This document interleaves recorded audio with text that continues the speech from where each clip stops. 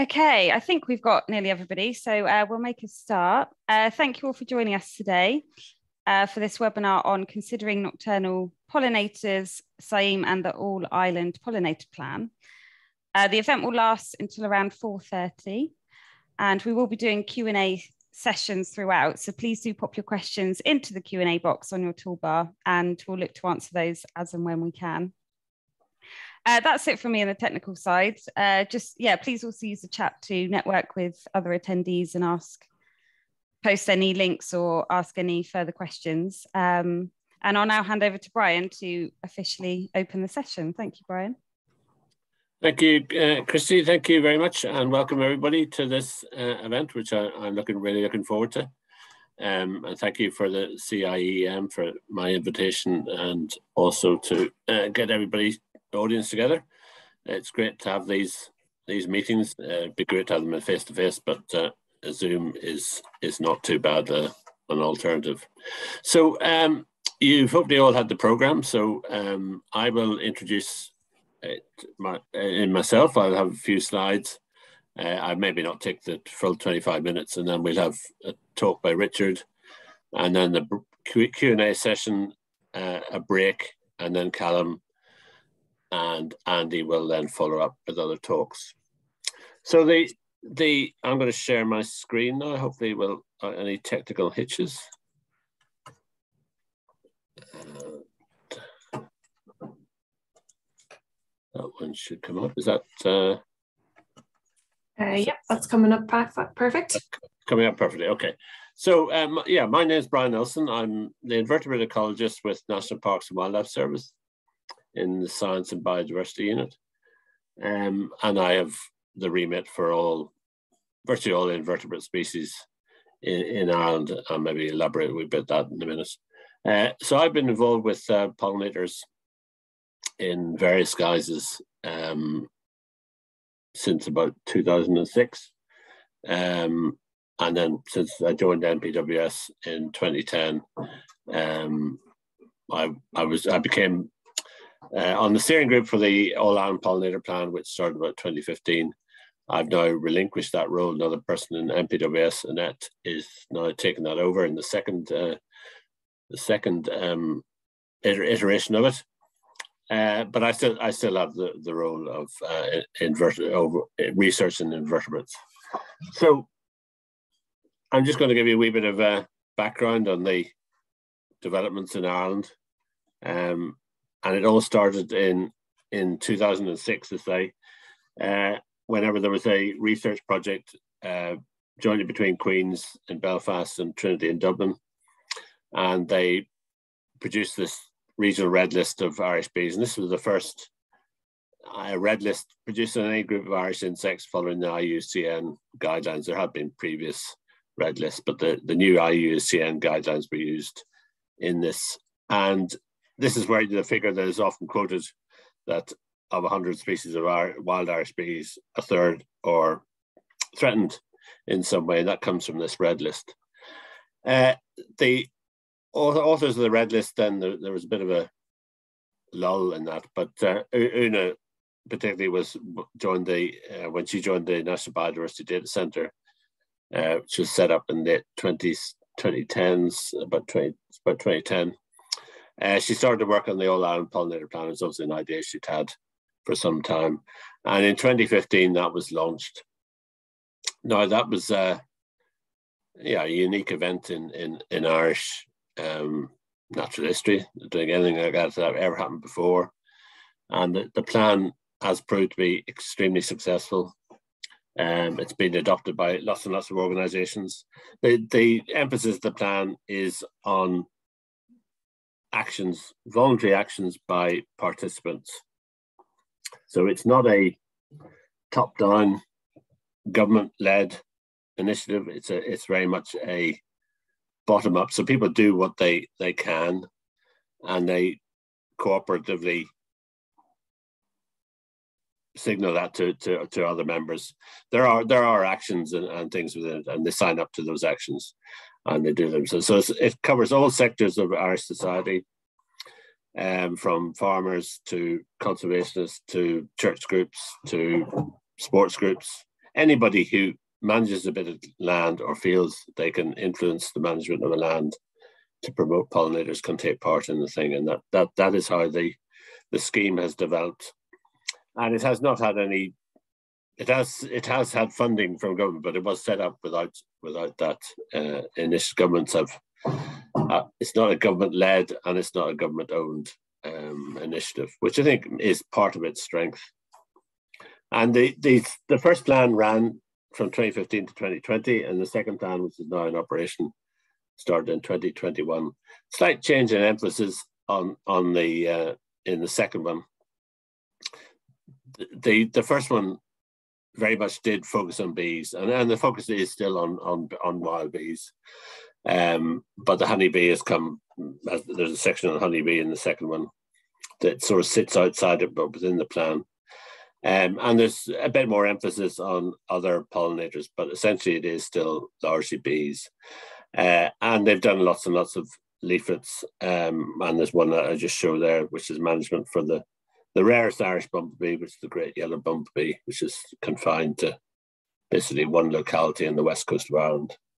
And hopefully that will get uh, management for that species and at least conserve the populations, hopefully with other initiatives increase it. Um, uh, so, sorry, so, Brian. Uh, sorry, just to, not to interrupt you there, but just I think we're still on your first slide. I'm not sure. Oh, oh sorry. Okay. Uh, okay. Um, ah, I think I'm. There might be a little arrow at the bottom. Is there? Oh yeah. Sorry. Yeah, we've missed these now. but, right. Okay. Sorry. Well. No. Perfect. Yeah. Okay, sorry. I, I, yeah, I'm looking at one screen, and, and it should be the second screen. I was actually changing. Yeah. Okay, so there's the pollinator plan. So you're all seeing that, and then hopefully, if we yeah. go down to the next one, yeah. Uh, I'll skip a slide now. Right. So the uh, and another initiative which uh, this, we're not going global. Um, so one of the um, things that happened dur during my tenure in, in, PWS is the setting up of this organization called the Intergovernmental Panel on Biodiversity and Ecosystem Services, which is it's probably simplest to, to describe it as it's a, it's a biodiversity equivalent of the um, climate change uh, panel, though it's not a legal convention in any way. So it's a group of like-minded countries, government representatives, uh, scientists, and other community groups, uh, other uh, interested groups, uh, producing a scientifically robust plan, uh, reports on the status of pollinators and pollination. It, it is important to notice it's not just on pollinators, it is on pollination and food production. And this was the very first um, IPBES uh, assessment that was done. And that has really helped kickstart a lot of developments uh, on the European scale and in other parts of the world. And uh, Callum Callum Macgregor, who will hear on his, his um, scientific report, is actually features quite heavily in the best in the best assessment. It's one of the few studies on nocturnal pollinators uh, that they're able to draw on in the, in that report. So again, this report is largely on on bees and the in, the uh, economic and social benefits that we get from pollination, which again is is largely bee focused, but it does recognize uh, pollination by lots of other groups. And as is global, of course, that, that includes things like hummingbirds, bats, uh, moths, uh, midges that pollinate cocoa plants, uh, as well as as well as the bee. Uh, and that, that report is well worth well worth having a look at. Uh, it is it is an excellent summary of the situation. And within the EU, then the IPBES report was a was a, a major driver in what the EU are doing. So at EU level, we now come to uh, uh, the European initiative, and, and within the EU, currently there are quite a few initiatives. The European uh, EU um, promoted the European Red List of Bees that was produced in 2016. And again, that, that is bringing to focus the, the decline in wild bees. And based on that uh, and the IPBES report, the EU have set up this pollinator initiative.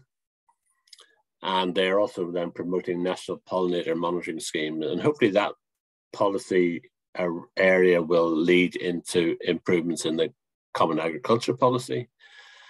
Uh, pollinators becoming much more focused in in that scheme, and the declines in pollinators prevent um, reversed. That's still up in the air. I'm not quite sure how, how that is uh, is going yet, but uh, it, in Ireland we are now starting in 2022. We're starting now a pilot for the EU pollinator monitoring scheme. Again, if you go online, you you will find a very large document which recommends uh, monitoring scheme for pollinators on the EU level. It does not focus on moths. Moths are not a, a core part of that um, scheme, but it will be focusing on bees and hoverflies. But uh, within Ireland, we, we are actually going to start that next year, and funding has been given to, to do that. So that will be something that will come on, on board in the future. Um, if we then switch to, again, Ireland, uh, a red list again, I just want to highlight that uh, we have got a moth red list, and Andy may refer that to this in his talk, but I'll just give this one slide, which just shows that there is there is an, an all Ireland red list for moths, and uh, we don't have a very high level of threat. Um, it's about just under just under ten percent of our moths are threatened. Uh, sorry, no, just over ten percent.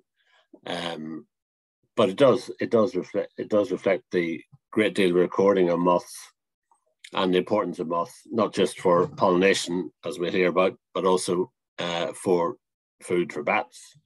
We don't have many in, insectivorous nocturnal birds, um, but certainly bats would be, be a, a, a, very important thing. And then the, the ecosystem services that moths provide uh, in terms of seed production of wild plants and then food for birds is, is obviously very, very important. So that's just to give you a flavour of what's happening in Ireland. Um, where all these things lead to an end, we, we will, time will tell. But uh, there are a lot of things going on in the background, not just uh, not just the obvious things. So hopefully that will lead to general better policies in uh, inform people, um, form better policies to try and promote these. So I'm going to stop uh, talking and we're going to uh, hear from Richard. So I'll stop sharing my screen. If I can find my biography. So Richard, so uh, Richard is going to be our first uh, speaker. And uh, Richard is uh, has looked at the interaction between plant and pollinators, especially at the aquatic terrestrial interface. I'm not quite sure what that means, and I'm looking forward to hearing that. Um, he is uh, he's currently looking at flooding in freshwater systems. So maybe he's not working directly on nocturnal pollinators, but uh, without any further ado, Richard, we'd like to hear your talk, please. Yep. Thank you, Brian. Uh, let's see here. Let me share my screen.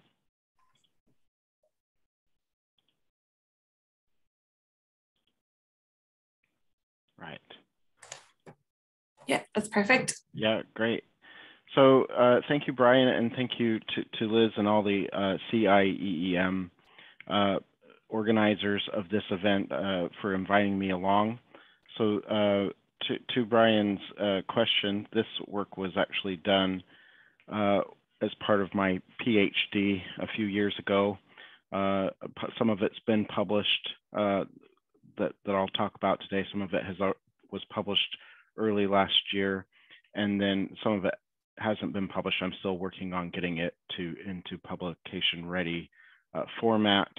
Um, but so, so, so my work does look at uh, moths as pollinators or as as uh, contributors to to uh, pollen pollination services. So let's see here. Oh, great, that should move. So just a bit of background. Uh, that I can provide for those who might be unfamiliar. We know that moths are found in uh, all types of habitats in the British Isles. Cer certainly within most of the world, you can find moth species.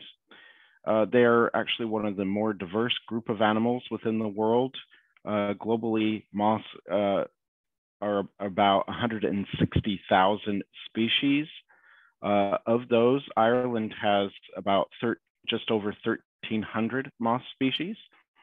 Uh, so that's a lot of species. And in fact, when you compare it to the more well-known butterfly species, butterflies are only 37 species. So uh, there are a lot more moths out there that, and, and they actually form an important link in the food chain. So they can be uh, food for birds, uh, for dragonflies and other predatory insects. Um, they feed on plants. The larvae we know can actually be quite destructive to crops and your the plants in your garden. But the adults can also be uh, feeding on the flowers, and that might help with pollination, which I'll talk about in a moment.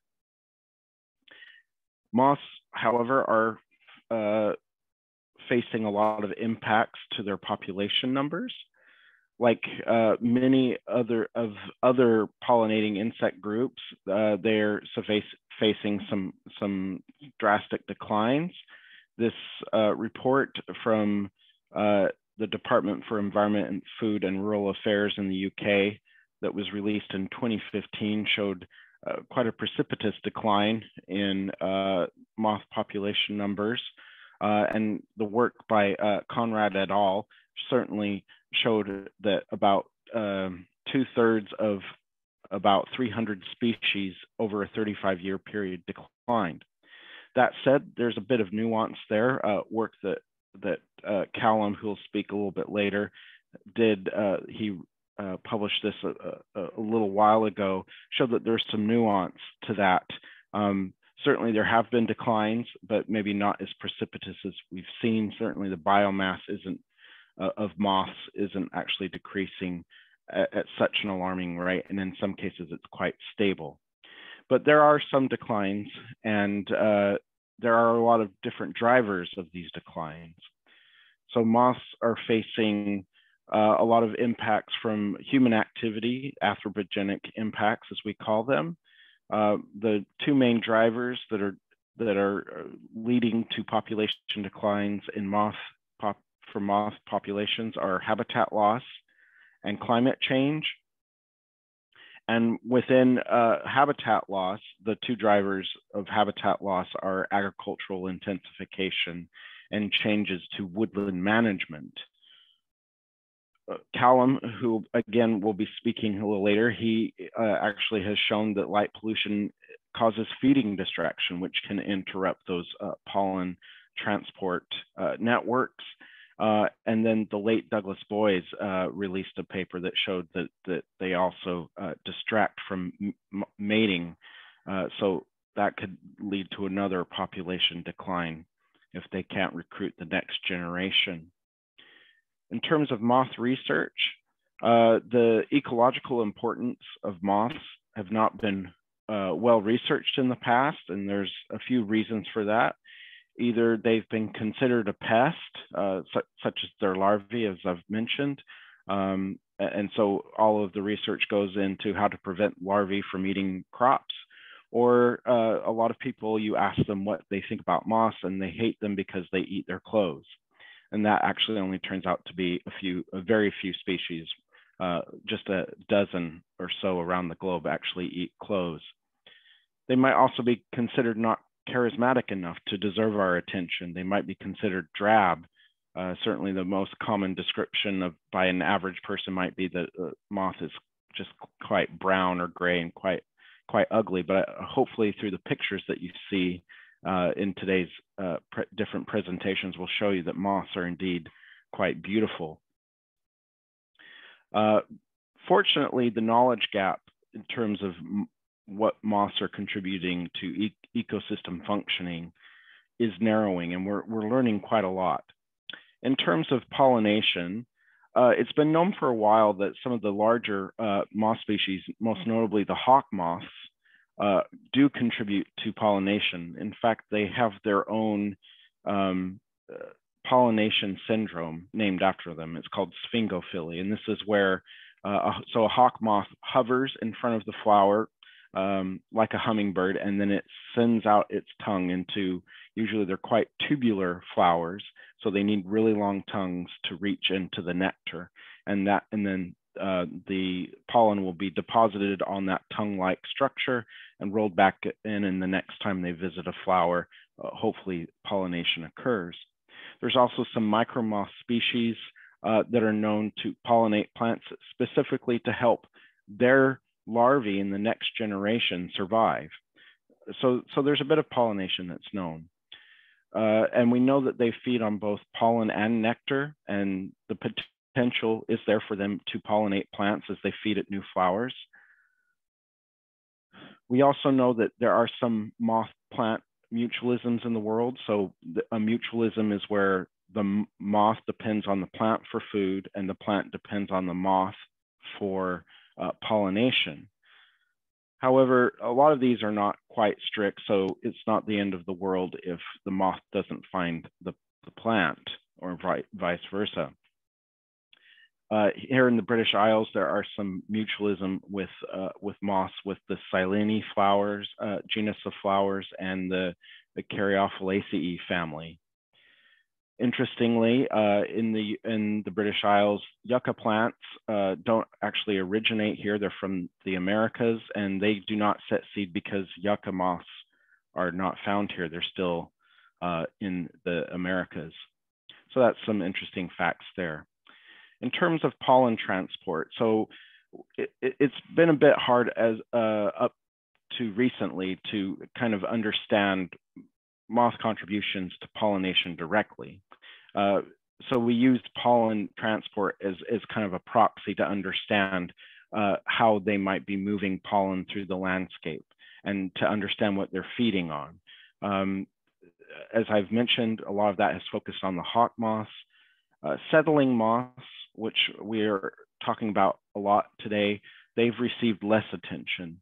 Now, settling moths are, are moth species that they will, uh, when they feed on a flower, they sit quite close to the flower. So their body sits right up close to the flower. Um, there's been some important initial work earlier in the 2010s uh, by Banza et al. and Devoto et al. Uh, kind of in, in a boreal, managed boreal landscape and as well as a agricultural, um, a Mediterranean uh, landscape.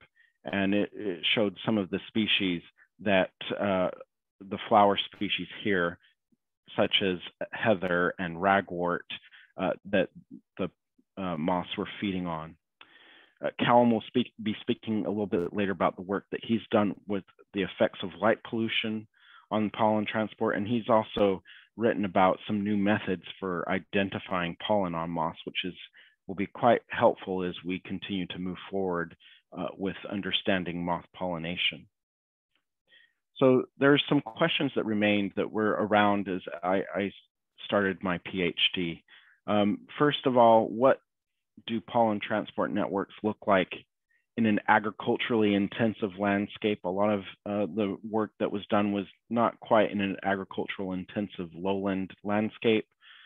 Um, I wanted to understand if there were any mechanisms of pollen transport by settling moths that might have been overlooked. As I mentioned, they sit quite close to the flower.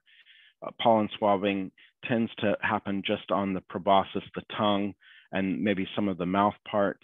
Um, and I was just wondering if perhaps they're carrying anything on their thorax. Uh, what what do the pollen transport networks indicate about pollination service by moths? So if we look at some of the plant species that they're visiting on a regular basis, can we perhaps uh, focus our efforts to see what sort what sort of plants are they feeding on that we can protect in the wider landscape, but also can we then focus to see if they might be um, pollinating crops that belong to these same plant families. And finally, uh, you know, a lot it, within agricultural landscapes, the remaining semi-natural habitats that are there, um, they are often managed in order to keep them in good shape. And this hasn't been considered in how this might impact um, different uh, species, uh, in this case, the moth, and how that might actually impact pollen transport uh, by the moth. So the two driving questions uh, for, for my PhD research on moths was the structure of, what is the structure of settling moth pollen transport networks uh, using uh, farmland ponds as a semi-natural habitat, which are which border arable fields, and then compare those networks to those of diurnal or daytime flying pollinators, the bees, hoverflies, and butterflies. And then I also wanted to investigate how settling moth pollen transport networks responded to uh, habitat management. Uh, so does managing the pond habitat improve populations and does that lead to more interactions? Well, that was the two driving questions for my research. So I had nine ponds that I studied and I captured over two years, I captured uh, moths during the growing season and I swabbed many, many, many moth species uh, for, um, for pollen. And what I found is 103 different species were carrying 47 different plant species. So up here in each network, we see plants and down below is the, poll the, the pollinating insects. So here it's moths. And we see quite a high number of connections between the moths feeding on um, the plants. Down below, we see uh, two diurnal networks. I separated out the bee networks because social bees tend to uh, be quite targeted. They tell each other where to find plants. So I wanted to separate that out a bit to understand some of the solitary bee, hoverfly, and um, butterfly networks. And what we see is there's kind of the same number of plant species visited, but quite a lot more moths are involved and a lot greater connection. Uh, and in this, we see this graph, what we see is that uh, for, let's focus on these three families, the Erebids, the Geometrids, and the Noctuids. Noctuids contributed the most to carrying pollen um, and, and uh, about, and then followed by Geometrid and Erebid type moths. And uh, about 45% uh, of moths that I swabbed were carrying pollen, so roughly half. And the, the major uh, food plants that they were visiting, the pollen that we were finding was uh, bramble was one of the key ones.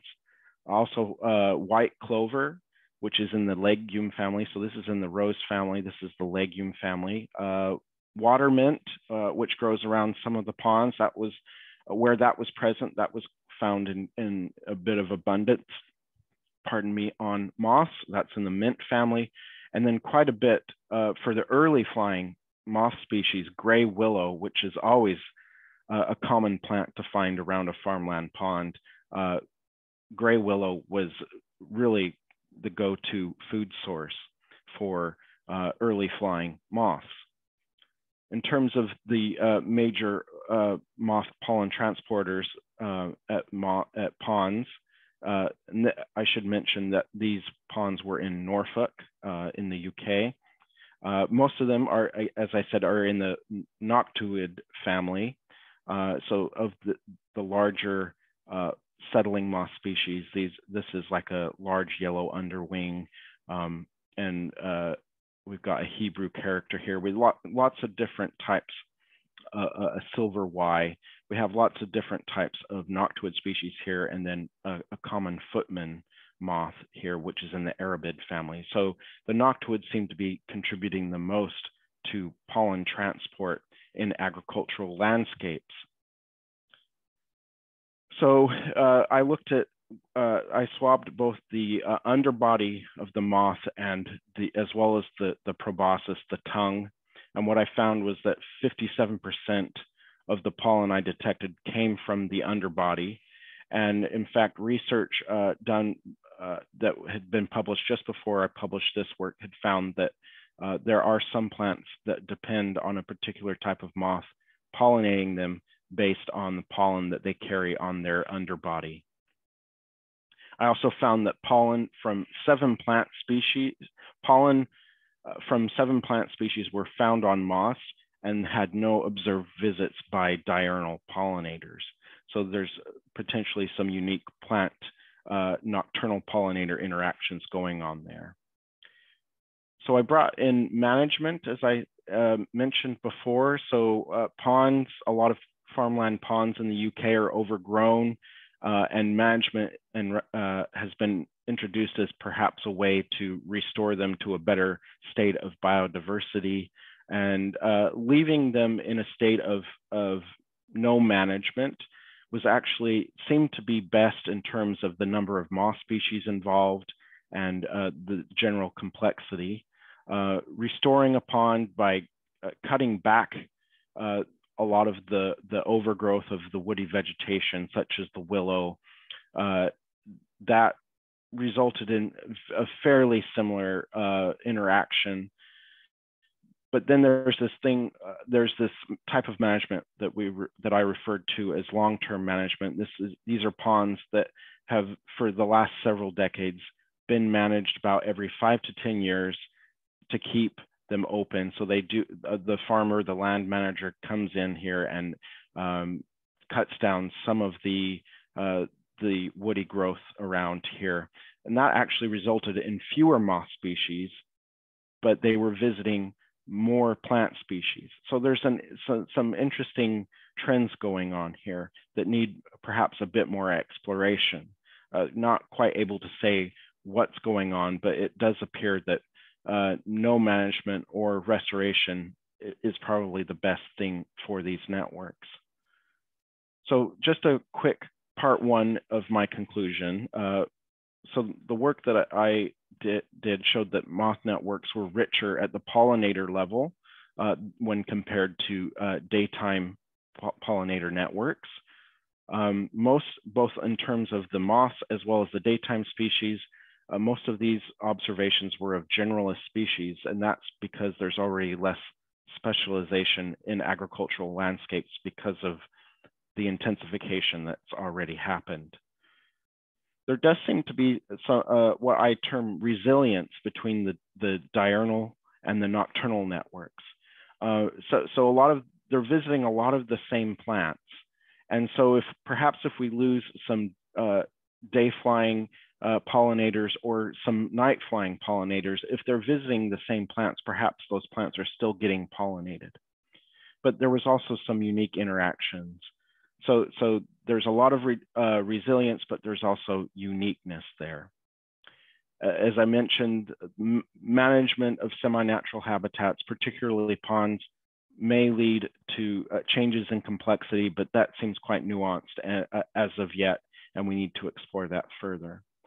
But the work that I did on the, the when I looked at all nine ponds as one, it really showed that that that perhaps all these different ponds at di different types of management schemes uh, created a, a, a, mosaic, a very heterogeneous mosaic of different habitat types at the landscape scale. And uh, research has shown that that is what moths prefer.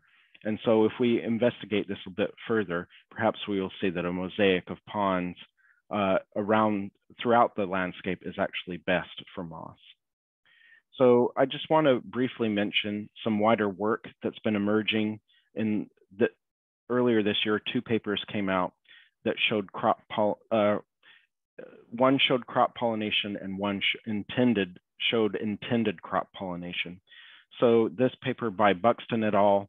Uh, showed uh, this was in New Zealand and it involved moths carrying avocado pollen. Uh, and the authors here showed that moths were carrying enough pollen that potential pollination could occur. They did not measure it directly, but they did show that, that moths were indeed visiting avocado groves and they were and they were carrying their pollen. Now, work done by Robertson et al. Uh, in the United States uh, over 2017 and 2018, they did this in apple orchards. And what they found was that moths were indeed, oops, they were indeed uh, contributing to actual pollination. So they were measuring seed set, the actual act of pollination that leads to seed set and fruit, fruit formation. Uh, and what, what's interesting here is I'll point this out, this is over 2017 and 2018, is, is uh, there's a lot of similarity in the numbers here. Uh, maybe bees and butterflies are a little bit better, but, but there are no significant differences. Again, that highlights some resilience between nocturnal uh, pollinators and di diurnal pollinators, that they're sharing duties that, uh, that we really haven't understood previously. So that's some of the wider work that's come out just within this year. so the take home message that I would uh, like to impart to you is first that moths are transporting pollen from many different plant families, and this includes major crops. And that, so this is, they can play an important role for not only the natural functioning of ecosystems, but ecosystem services that we as humans rely on, such as crop pollination. We need to include moths more in, in more research that focuses on pollination and pollen transport networks uh, because we're only just beginning to understand them and we're beginning to realize it's much, uh, they, they're playing a much greater role than we previously even considered. And so because of that role, we, we really need to remember their value and consider their value, uh, not only in terms of research, but as uh, but for resource management that, that we can't just think of uh, the, the, the animals that we see, the insects that we see pollinating during the day, the bees and the butterflies and the hoverflies. We also need to think of those that are visiting uh, plants after we've gone in for the day.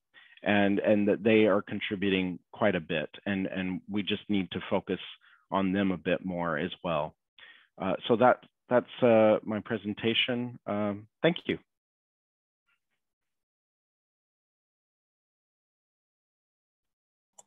Thank you very much, Richard. That's a fascinating talk and uh, came across very well. Thank you very much.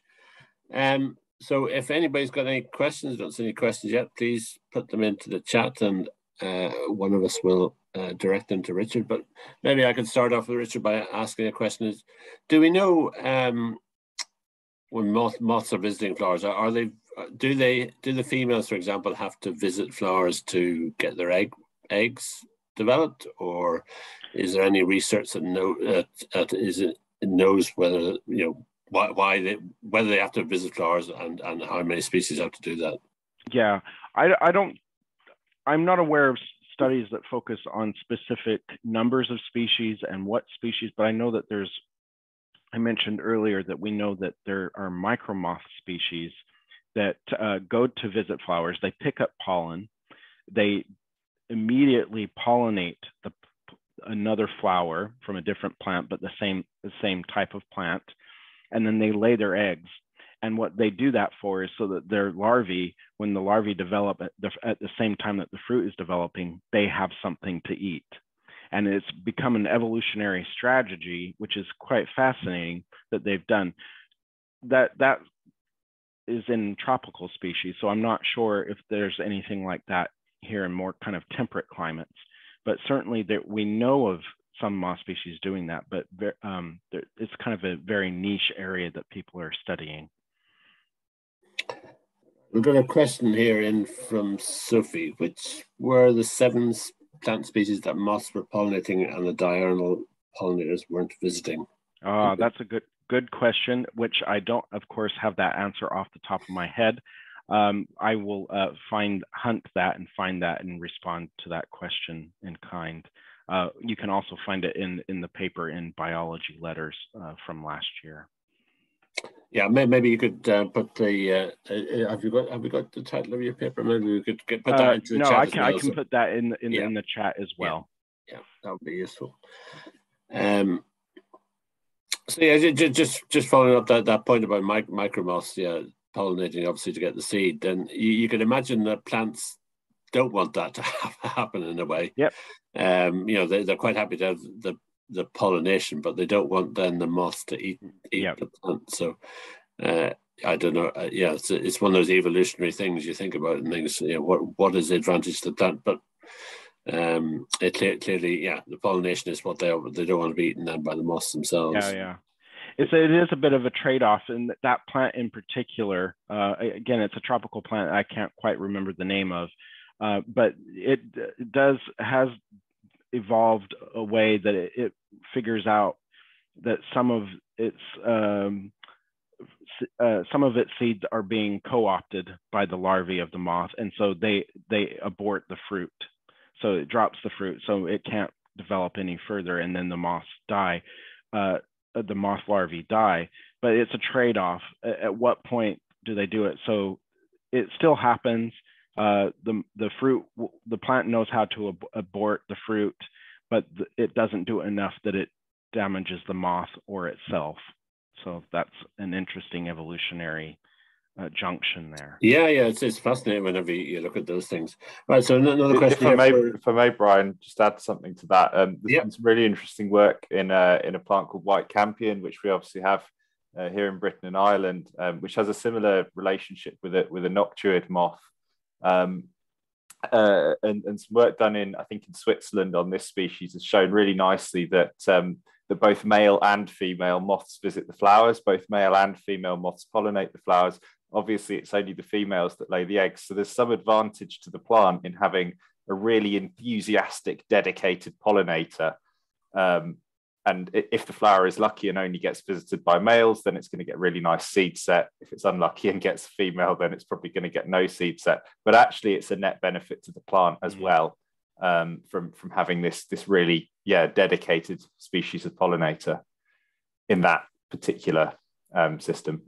Yeah, yeah. I mean, again, again, the plant, the plant wants wants to serve wants that service to get mm. its seed. Yeah. So, uh, but yeah, it doesn't then want to be eaten to, to pieces. But and, and and the moth, the moth then needs, of course, the seeds to set to get the new plants uh, for its young and future generations. You know, there's no point eating all the plants. Uh, right, we've got another question on the chat here from David.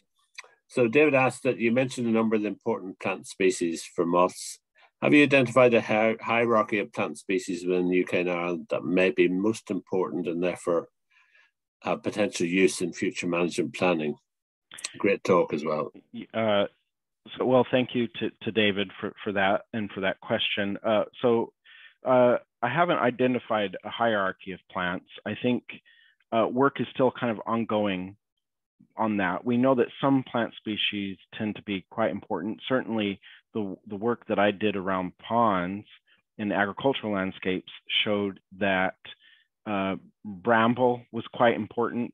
Uh, things like white clover and other arable uh, flowers were quite important, but it might be different in a in a, a uh, certainly the work that uh, uh, Devoto et al. showed that things like heather and um, what was the other ragwort that that was quite important to kind of boreal species of moss. So I think it depends on what type of landscape you're in. So I think we're still gathering, uh, scientists are still gathering data to understand what plants are most likely to be visited. And hopefully we can, within a few years, uh, have developed kind of a hierarchy that, that uh, shows us what plants we really need to protect. I would also add to that though, it's not just one or two type of plants we need to protect. They really need a quite a diverse range of plants to choose from. And it's not just plants for the adults, it's plants for the larvae. And oftentimes the larvae will eat different plants than the adults feed on. So it's really important to note that while there are some plants that might be really worth protecting and conserving for them, they really need a diverse range of plants to choose from. So it might not actually be quite helpful to have this hierarchy as, as a hard and fast tool. Okay, thanks, uh, Richard, for that. Um, don't see any other questions. So I, have got. Um, do, do we know the main mechanism by which moths um, find plants? I mean, are, are, they finding plants visually, or are they finding plants well, by scent? At, yeah, at night it's really hard to see. They do tend to visit, uh, and they and moths uh, do have uh, we, we assume they have fairly poor eyesight, although they can really see our artificial lights, which Callum will talk about. Um, they tend to go for pale colored flowers.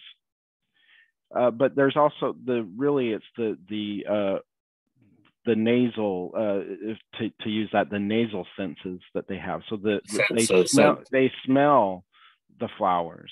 Uh, a lot of times uh, flowers uh, that flower at night will emit a, an odor. You might notice that in your garden often, like if you have jasmine or if you have, perhaps if you have nicotiana in your garden during the summer, you will smell a beautiful, quite a beautiful scent at, at around dusk.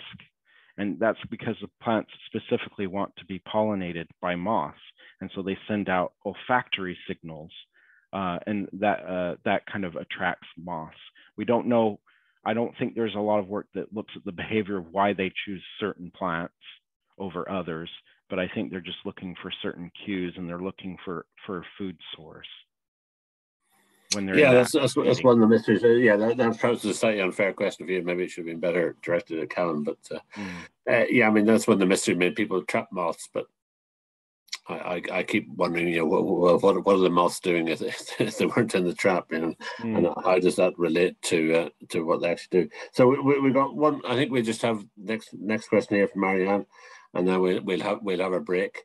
Okay. Um, so uh, Marianne says, in comparing wetland manage management regimes for agriculture areas, were there any interventions such as deliberate planting, or were there just, or were these just what occurred without intervention? So okay. yeah, was there deliberate yeah. planting? So so in terms of uh, it, the the work that I did uh, it, uh, with the group that I, uh, the lab group I was with at, at UCL, uh, we when we went in and we managed ponds or we restored a pond, we just cut back the woody vegetation and we dredged uh, out the pond sediment to, to expose the seed bank, but we didn't actually plant any plants. We just let come up what was there. So what was in the seed bank is what was there. And we feel that that was is probably, it might not be the best uh, solution in every case, but it was certainly the solution within the Norfolk area. And it, it means it's less money to spend uh, in, in, terms of your uh, management plan. You, if you don't have to pay for plants to plant, plus the man hours that it takes to plant, um, that is actually quite beneficial to, to, to management plans on a cost benefit uh, basis but a lot of these plants came back naturally and they prefer disturbance so they actually want that sort of disturbance to come in and, and that that's what was interesting and the management is what improved uh, the floral resources around the pond uh, and uh, seeing her, her uh, Marianne's comment about invasive species, we haven't ever seen any invasive species. We've certainly been on the lookout for them. Uh, crassula is one of the big things that we're worried about invading ponds, and we never had had a problem with it. But it could be just the fact that they were in intensive kind of farmland, so you're not seeing a lot of cross contamination between ponds. Okay, thanks very much, Richard, for that uh, answer. Um, so I think um, at this stage we will um, have a break, uh, take 10 minute, 10 minute scheduled break. So if we come back, that'll be neatly come back at three o'clock then uh, to hear Callum's talk. If, if there are any other questions that people want to direct to Richard, um, we can always deal with them at the Q and A at the end end of the session if Richard's uh, still available to uh, um, to answer those questions. So, uh, yeah, we'll see you back at three o'clock. Thanks, everyone.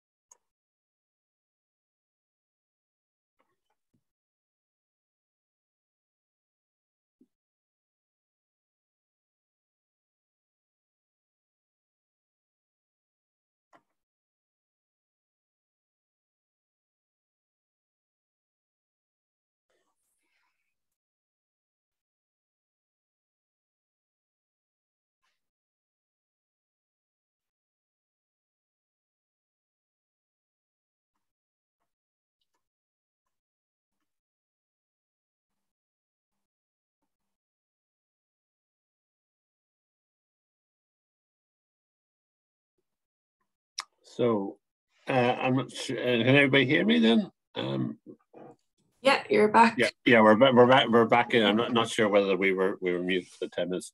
So uh, I hope everybody had a nice little break there. Um, so yeah, I just want, wanted to first of all say um, that uh, Adam Mantell, who was who was um, maybe mentioned in one of the earlier program uh, iterations, uh, unfortunately couldn't make it to the event today. I'm not sure whether he's, he's listening in, but uh, I know Adam was uh, had a very nasty dose of COVID, so we wish him all the well and a speedy recovery. Which I think he's on, on the way to. I think he's, uh, uh but I know he's, he certainly couldn't have taken part with his uh, uh, out of action, say with COVID. And just a reminder, yeah, we um, apologies to to Marianne that uh, there was a question in the Q and A that I didn't see. Um, maybe if everybody puts them in the chat, then uh, they won't they won't get missed. But we, will come back to that question uh, maybe later on, uh, or if Richard uh, sees it, he might want to answer it on on the on the system.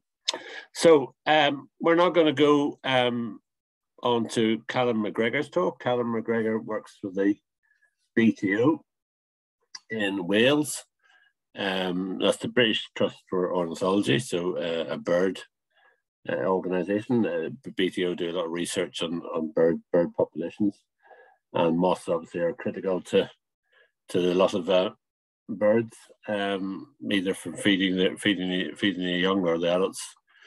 Um, so Callum is going to talk to us about uh, the dark side of street lighting. Over to you, Callum. Thank you very much, Brian. Um, I will share my slides. Um, that one, I think. Hopefully you can now see those. Um, yeah. Brilliant. Yeah, uh, thanks very much for the introduction. Um, as Brian said, I currently work for the for the British Trust for Ornithology in our in our Wales office. Um, but my background is not uh, not particularly as an ornithologist, um, and I'm here to speak to you today because I undertook my my PhD on the topic of nocturnal pollination by moths and the impacts of artificial light at night on these um, nighttime interactions between moths and flowers. So that work was carried out um, uh, between Newcastle University and the UK Centre for Ecology and Hydrology, um, and also the charity Butterfly Conservation, who were very heavily involved, including as, as one of the funders of the work.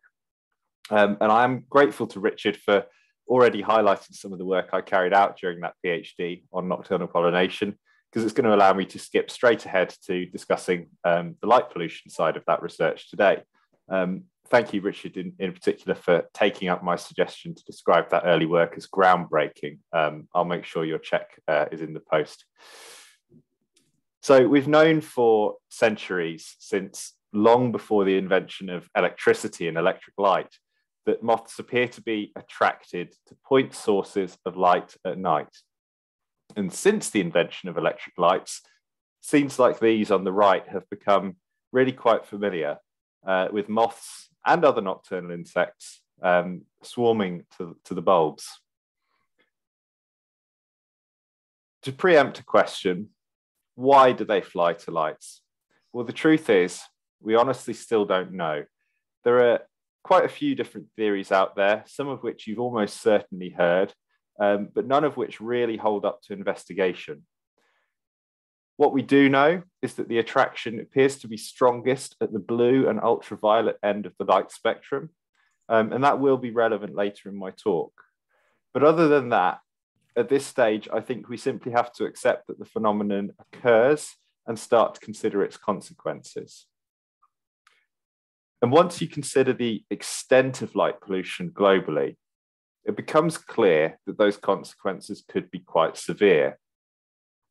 The different intensities of colours on this figure, and when I zoom into Europe, are not terribly important to understand, but in a nutshell, anywhere that isn't depicted in black, that is a place that at the, at the darkest point of the darkest night still experiences more light, more background light than a natural full moonlit night. So essentially we're talking about the complete erosion of natural levels of nighttime darkness. And as you can see, within the entirety of Western Europe, that means that essentially the far north of Scotland and bits of Scandinavia are the only places that still have true nighttime. Now, a key reason why this might matter is that artificial light at night masks patterns of light and darkness, natural patterns of light and darkness. Astronomers know this very well because artificial light masks their view of the stars. And you can see that on the right hand side of this photo. Uh, this um, source of artificial light here means that all the stars in this part of the sky are, are, are not visible compared to this amazing starry, starry rich sky at the other end of the photo. Astronomers are aware of it, but ecologists should also be aware of it. Virtually all of known life, including humans, uses patterns of light and dark in very fundamental ways to control our daily body, bodily rhythms, and also use seasonal change in the light dark cycle, going from, uh, well, pretty much this time of year when most of the day is dark to, uh, to the opposite end of the year when most of the day is light, to determine the timing of key life cycle events, events like breeding or hibernation that are really um, critically linked to the season. So there's plenty of reason to suppose that artificial light at night might have an important effect upon moths. Back in 2013, when I started my PhD, the state of play was set out in this report, which showed a long-term decline in moth populations and as you can see from the quotes on the right, it was considered to be unclear whether light pollution was involved in driving those declines, and there had really been no major studies of that. Well, fortunately, that has changed in the intervening uh, eight years or so. Unfortunately, I would say it's now quite clear that light pollution is an important driver of moth declines. I want to highlight two papers that I think were really critical to nailing this down. Um, this is the first, uh, it was led by uh, a team of researchers from Wageningen in the Netherlands. Um, and they showed very simply that moths in the Netherlands, moth species in the Netherlands, were much more likely to be declining and doing so more severely if those species were A, nocturnal, and B, strongly attracted to light. And they showed this by comparison to diurnal moths or to those which require other survey methods because they don't appear in moth traps, which, which tend to be baited with light. Interestingly, this team tested a whole range of drivers relating to other things, including climate change and habitat change and pesticide use and so on, in this study. And of all of those things, it was light pollution that came out as the single strongest predictor of population trends. The second is this paper, which was mentioned in Richard's talk, um, led by my, my friend and colleague, Doug Boyes, who, who very sadly passed away in, in September, um, aged only 25. Um, and this paper was published just a few weeks before he died. Um, Doug surveyed caterpillar abundance in hedgerows and grass road verges illuminated by streetlights and compared these to nearby unlit margins. And he found a massive reduction of between a third and a half in the abundance of caterpillars in the presence of street lighting. And that was critical because that was the first paper that, that showed this effect um, in, in an immobile, a, re- a relatively immobile life stage, showing these kinds of effects in adult moths, um, which, which, several studies, including one that I'm going to present later, have done, um, is interesting, but adult moths are very mobile and will fly to light. Um, caterpillars are not very mobile and don't particularly move to light, and yet there's still a massive effect um, of lighting being present on their abundance. So, moths are declining. Check. Artificial light appears to be a cause of it. Check. There are a number of mechanisms that may co be contributing to that. Firstly, we know that predators have learned to exploit the attraction of moths and other insects to nighttime light. This includes both um, sit and wait predators like this uh, enterprising and extremely overfed spider, um, and also active predators, uh, particularly a number of species of bats, which, which can be observed hunting around streetlights in a very deliberate way. Moth reproduction is also impacted in multiple ways. And this has been particularly well uh, studied in the winter moth, which is a species with a really unusual life history in that the female shown here is, is completely wingless and flightless. Under usual circumstances, females climb up the trunks of trees, particularly oak trees, um, and start to emit a pheromone which says, come and get me. Um, males then detect this pheromone and they fly in and, and, and mate with the females. In the presence of a street light, however, we know that this process changes in several ways. Firstly, uh, fewer females move up the tree trunk in the first place. Each one that does then emits a lower quantity of that pheromone. And probably partly as a consequence of the reduced pheromone emission and partly due to that fundamental attraction to light, fewer males then find their way to a female. So those are some key mechanisms um, involved in the in the decline of moths, but there, there, there are many others. Um, and Doug Boyes wrote a review paper, which um, which again was published earlier this year, which uh, summarizes them quite well. Now, quite clearly, if moths are pollinators and moths are in decline due to light pollution, that means there's a mechanism by which light pollution can have indirect effects on, on nocturnal pollination, simply because there are fewer moths around to carry out such pollination as a consequence of light pollution. But this graph on screen now is from another study by that same Wageningen group. Um, and here they showed that, that moths in the lab in captivity were much less likely to drink sugar water from artificial flowers when their flight cage was illuminated compared to the, the dark, um, dark controls on, on the right of each plot. That finding is particularly interesting because it raises the possibility of direct effects of light pollution on moth flower interactions. And those direct effects were a key focus of some of my PhD research.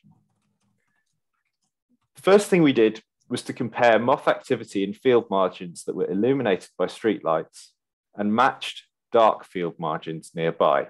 So we found 20 suitable pairs of sites in Oxfordshire and sampled each pair using three different sampling methods. The first was an adaptation of the standardized transect method that's commonly used to survey for butterflies. Um, and that gave us an idea of what was happening at ground level in the field margins in terms of moth abundance. We also used light traps. These are the standard method for surveying moths, but we placed some fairly heavy uh, caveats on what we were willing to interpret from that data set, given that we expected there to be a conflict between the light from the traps and the light from the street lights overhead, that wasn't present at the unlit sites. And lastly, we developed a method for surveying overhead flight activity to give us an idea of what was happening higher up at streetlight level. We found that down at ground level, moth abundance was significantly reduced at lit sites, which are the white bars here, compared to unlit sites, the grey bars. There were fewer moths around at ground level. But several meters up at streetlight level, the reverse was true, and moths were significantly more abundant. Now, we captured all of the moths that we saw at ground level and brought them back into the lab, where we swabbed their mouth parts for pollen grains and identified and counted those pollen grains. You can see some examples uh, photographed under the microscope here of, of, a pollen grain on the proboscis of a common pug and some on the, uh, on the uh, palps of a, of a burnished brass.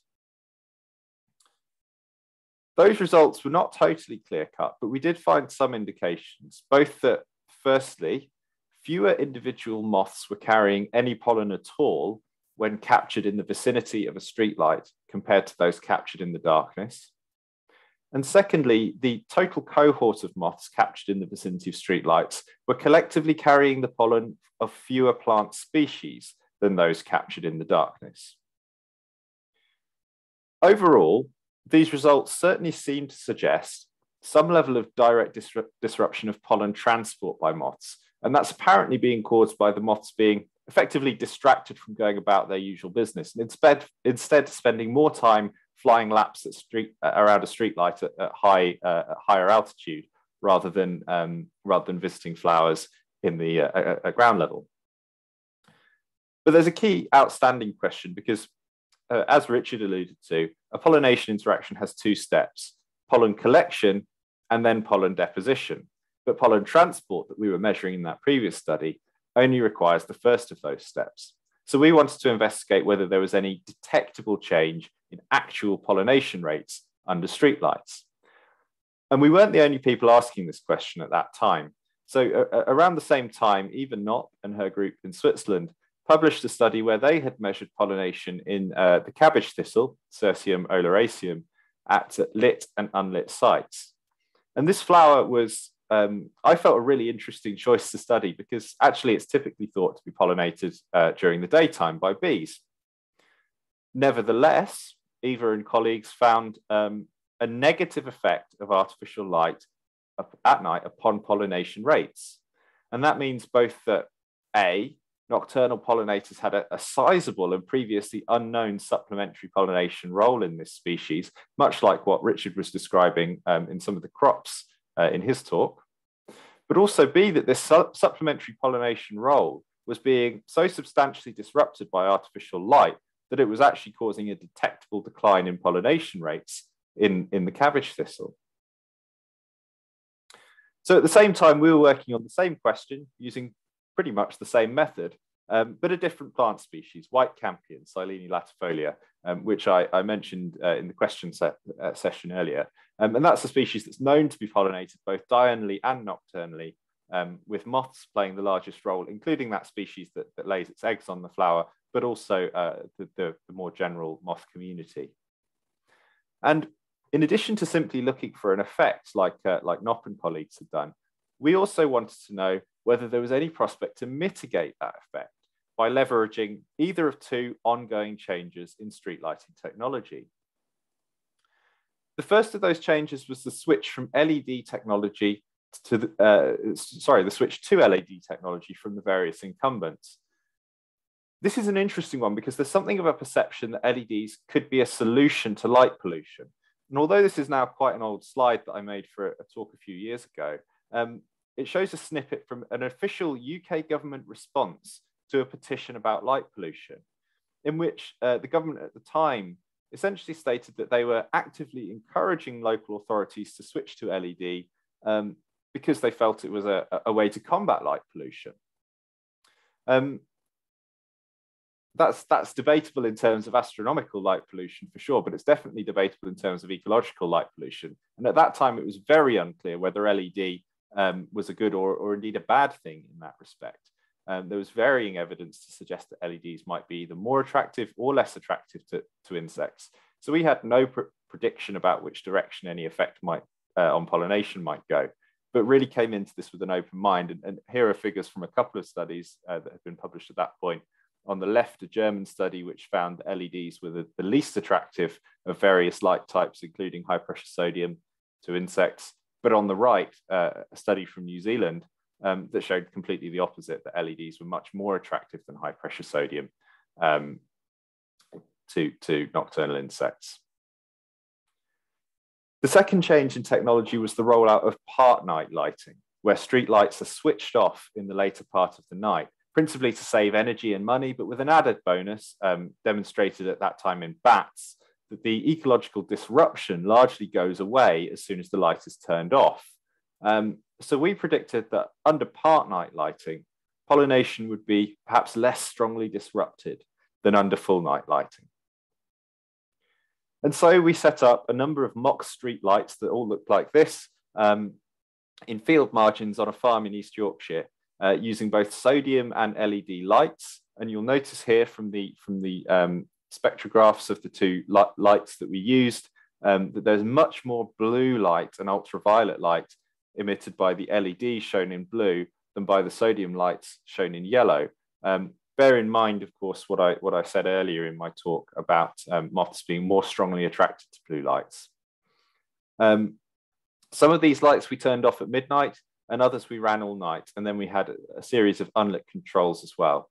And in each of these treatments, we placed a number of white campion plants with unfertilized female flowers and left them out for four days and nights, and then brought them back into the glasshouse and waited to see what developed from the flowers. Rather to our surprise, we found that pollination rates were actually significantly higher under full night lighting than either part night lighting or unlit controls. And there was no difference, no significant difference between part night lighting or unlit controls. That was a bit of a head scratcher. Eventually, we decided that it might be the case that white campion, being a relatively tall flower and uh, quite clearly a white flower, it's in the name, might stand out more and be more visible to moths under lighting. Nonetheless, we are still interpreting this as a disruption to the wider natural system of nocturnal pollination, Moths that are visiting white campion more frequently are likely to be visiting other species in the plant community less frequently. And we are certainly not um, advocating rolling out streetlights as an aid to pollination services anywhere. Comparing um, LEDs to sodium, uh, in this case, we found no difference. They both cause disruption equally under full night regimes, and they both cause less disruption under part night regimes, um, the same as each other. So I'm going to wrap up my talk now with a few words on mitigation, which are influenced um, by the work that I've presented today, but are also influenced by a much wider literature than what I've had time to present, um, and including um, studies of, of many more taxa than just moths. Off-the-shelf LED technology um, does not really appear at the moment to be beneficial from the perspective of ecological light pollution. It's at best neutral compared to the incumbent technologies, and at, at worst may substantially increase the impacts. It is, however, I would say the clear direction of travel, and for a number of good reasons relating to things like energy efficiency. And so we should be thinking very carefully about how we can leverage its great versatility and flexibility to reduce impacts in the future. Um, and for example, there's some really excellent work being done in various parts of the world to investigate whether using LEDs with non-standard color spectra, such as um, those with, with low color temperature, which is what uh, 3000 Kelvin refers to, that's a color temperature, whether those types of lamps can reduce impacts on, on nocturnal eco ecosystems. Part night lighting as a solution has really clear potential to reduce the impact of artificial light at night on ecological systems, much clearer than, than LEDs do. Not only does it remove the direct point source of light for some of the night, but it also allows a period of natural darkness to occur, which could allow some of those processes driven by natural light dark rhythms to continue. The problem, of course, is that part night lighting is terribly, terribly unpopular with people often because of very valid concerns about nighttime safety. And so, if it is to be implemented, it really must be done so sensitively. And the last thing we want is to is to um, have people thinking that we are prioritizing the safety of moths above the safety of humans. And that's something I have been accused of whilst doing press around some of this research. There are other options under development and indeed already in use in some places. And these include things like part night dimming of lights in locations where they can't safely be turned off completely, and use of motion sensitive lights to ensure that the lights are only on when they're required to be on. And these methods too hold great potential to reduce the impacts of, of light pollution on, uh, on nocturnal ecosystems, but they're, they're really a long way from being widely adopted, I would say. And of course, the question that we should all be asking ourselves whenever an external light is put in anywhere is, is it actually necessary at all? An awful lot of our human use of artificial light at night is decorative rather than functional. And we're especially keen on doing things like illuminating structures such as churches and bridges, uh, particularly in tourist hotspots. Um, if we were to get rid of that, uh, that particular uh, fad, that particular trend, that would be a, a tremendously easy win from the point of view of reducing light pollution. And with that closing thought, I, um, I thank you very much for your attention and um, hopefully I can answer some questions at the, at the uh, relevant moment. Thanks very much, Callum. That was uh, an excellent talk, uh, a subject that I yeah know about, but uh, I've never heard heard in that detail before. So thanks very much. So um, we we will um, leave questions if that's okay till we heard after Andy. So um, that's that's great. So uh, our next talk uh, is from Andy Crory. I know Andy very well, uh, and I've heard Andy give talks um, many many times, and I never tire of hearing Andy talk. Uh, he's, he's a great speaker, and uh, we've had two great speakers. But you know, this uh, Andy will will um, end end this session very well. And Andy works for the Ulster Wildlife Trust. Uh, he's the reserve manager, but he traps a lot of the single site near his home in Newcastle. Uh, the wonderful Murlough National Nature Reserve on the County Down coast of Dundrum, where I, I used to I used to work there many many years ago and it's a it's a wonderful place, and I'm sure a lot of people know it. So, Andy, over to you. Okay, thanks, Brian. Uh, put me under a bit of pressure there, like, because this could very well end up being a dump squib. Uh, but anyway, yeah. Um, let me see if I can get this working. Mm -mm -mm. The vagaries of Zoom meetings. Let's see. Okay. Can everybody see that? Yeah. Yeah. Well, there we go. So, yeah, I had to come up with a title, and I didn't want to go too much into my obsession with moths because, you know, as you can see, this is an Ulster Wildlife slide. So I've very cheekily managed to do this as a hybrid Northern Ireland moth recorder, nature reserves manager uh, talk, which uh, means you could have done some of it in work time. Oh dear, let the cat out of the bag there. But um, yeah, I am the Northern Ireland moth trapper.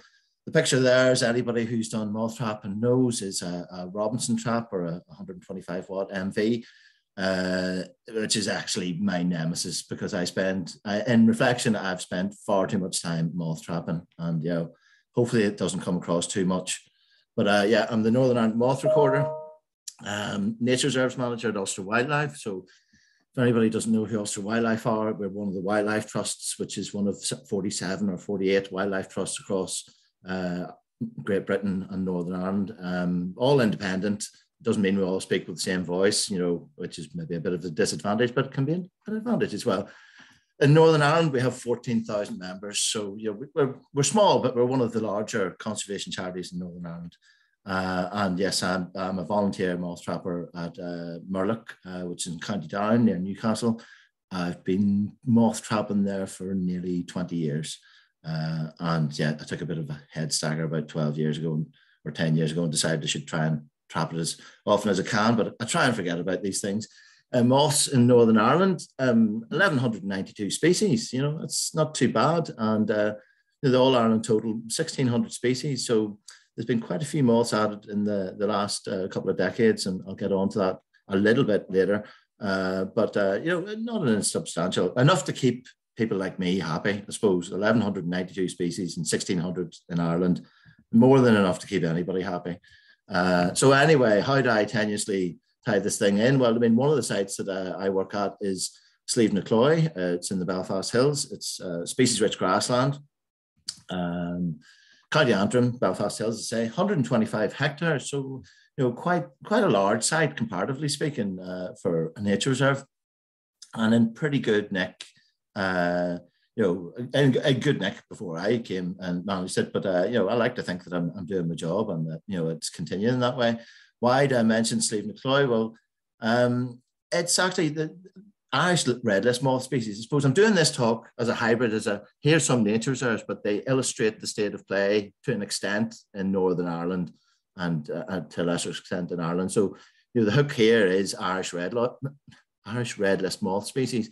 So there's 71 Irish red list moth species as part of what Brian had mentioned earlier, the, the compilation of the list. So basically 10% of them were found at Slieve na Cloy, which is, you know, when you put it in those terms, I mean, that should relate some of the caliber of this particular grassland. Um, and it's particularly good for orchids as well. I mean, there's nine species of orchids. So in the Northern Ireland context, you know, it's it's it's one of the heavy hitters, I would say, in terms of you know really, really good species-rich grasslands. Um, and one of the species that you find there is a red carpet moth. So again, an Irish red list moth species. Uh, we're funded uh, through, part funded by NIEA or DAERA, um, basically to carry out a range of surveys, habitat management at Slieve na Cloy. And happily for me, uh, that includes uh, surveying for Irish red list moths or Northern Ireland priority species moths. Uh, so yeah, it's a nice distraction that you know, as part of my job, I actually have to go out and actively look for moths. I think it's I just wake I do wake up, up well. It's this way, it's not the best job in the world because plenty of headaches like any job, but it's great when you can get up in the morning and realize, oh, brilliant, sun's shining. I'm going out to look for moths. So yeah, I shouldn't advertise that fact because you'd all want my job or something. Anyway, if you look at red carpet in terms of an Irish red list species, I mean, there is the decline, you know, pre 2000, it's quite a rare beastie in Ireland, probably because of the moorland habitats and upland areas that it's found in. So it's probably not encountered quite as often. But I mean, even those maps illustrate the decline in that species, you know, quite a marked decline. Uh, I think it's listed as uh, endangered or vulnerable. I can't remember what category it was, but uh, certainly Slieve Nacloy is one of the most regular sites. It feeds on Lady's Mantle. Uh, it's the larval food plant. Um, but I mean, it's one of those things that, you know, if you really wanted to catch up with it now, if you really wanted to go and have a stab at trying to find, you probably need to go to Slieve na Cloy if you want, you know, it's probably one of your better bets. It's kind of a bit of an indictment, you know, but you know, it's habitat loss perhaps and climate change, which are driving the changes in red carpet populations. But uh, you know, not necessarily a good news story, apart from the fact that this year I recorded more red carpet at Slieve na Cloy than I ever have. Uh, and from across the site. So something, you know, in that little population up and down at St. McCloy, certainly 2021 was a good year. So, you know, it's not all doom and gloom. And it could well be that red carpet, you know, occurs much more widely. It's just we're not picking it up because people aren't going up into the uplands to get cold and wet and the heads blown off them. Um, but that leads me into the Irish Red List moths. So that was uh, published in 2016, and uh, Brian was heavily involved in that.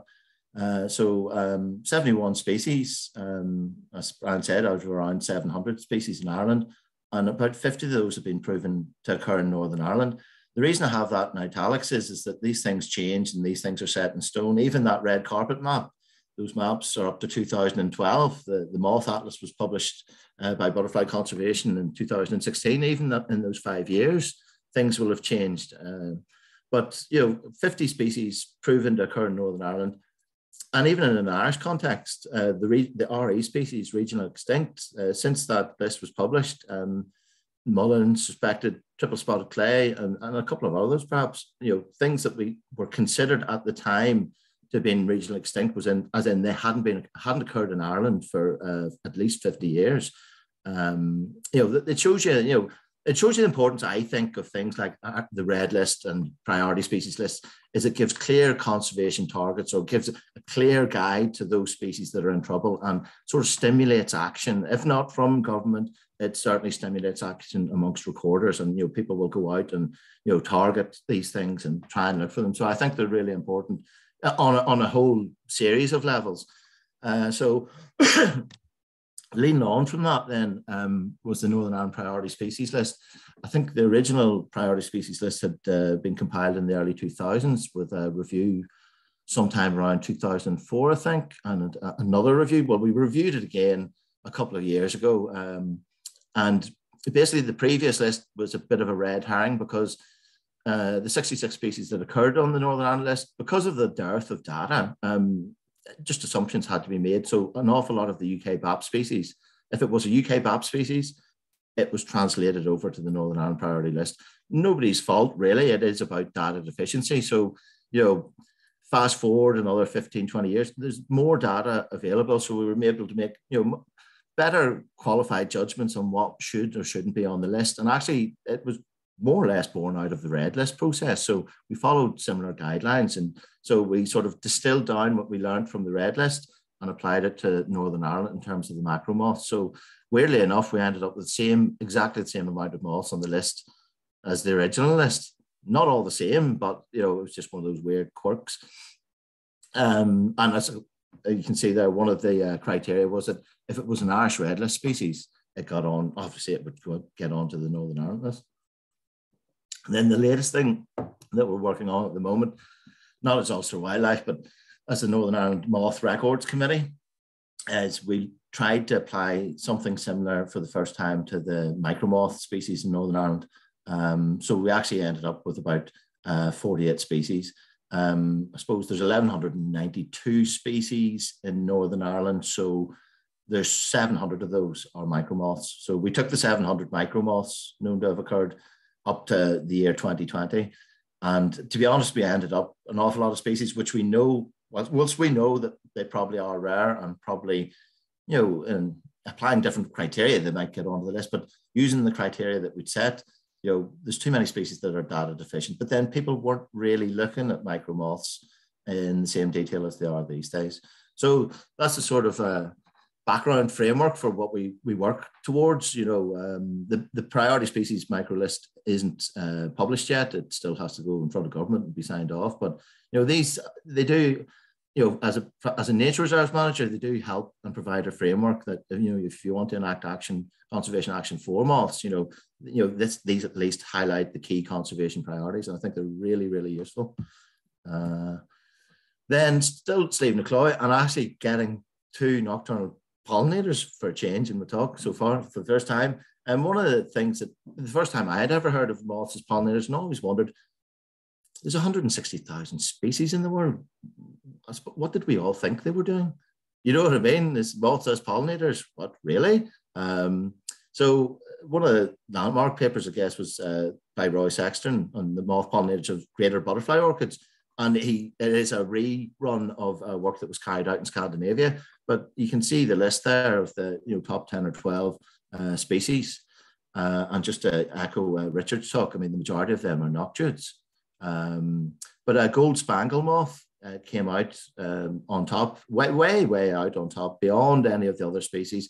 And I say all, uh, just as an aside, all of those species occur at Slieve Cloy.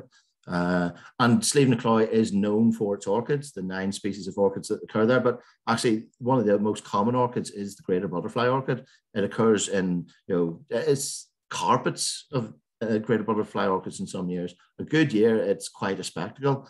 So, you know, there's the gold spangle moth, quite a distinctive moth.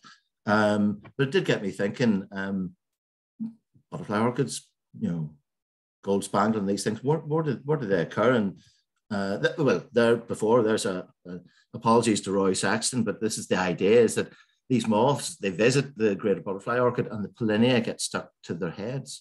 So that's how these orchids are pollinated. Um, they, you could argue that they depend upon the moths, you know. So um, it's interesting when you look that, you know, here we have these moths that are heavily attracted to these orchids. They are obviously there's a great association. And when you look at the maps from Moths Ireland, albeit these maps are up until 2015, I think, um, you can see the maps there. The Gold Spangle, they took the top three, and I just thought, I wonder what the maps look like. Uh, and there's Gold Spangle, of course, it has the, the greatest association with um, Greater Butterfly Orchid. The large yellow underwing is a generalist, you know, it probably visits many different species of flowers. It's, it's a generalist in terms of, you know, it's polyphagous as well.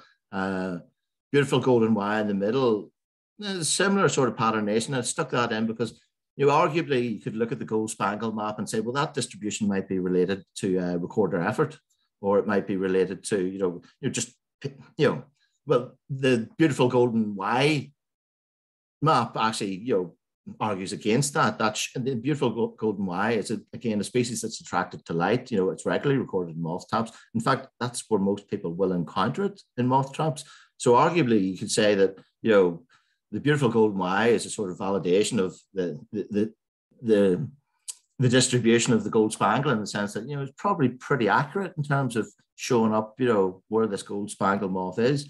And then if you compare the BSBI map for uh, greater butterfly orchid, it's quite interesting the overlap. Now I'm not a scientist at all. You know, it just there's probably I mean there's obviously something in that. I mean the orchid has a pretty restricted range and it overlaps pretty well with gold spangle. It's quite interesting. Somebody can do something with that, but it's beyond my puny mind, you know.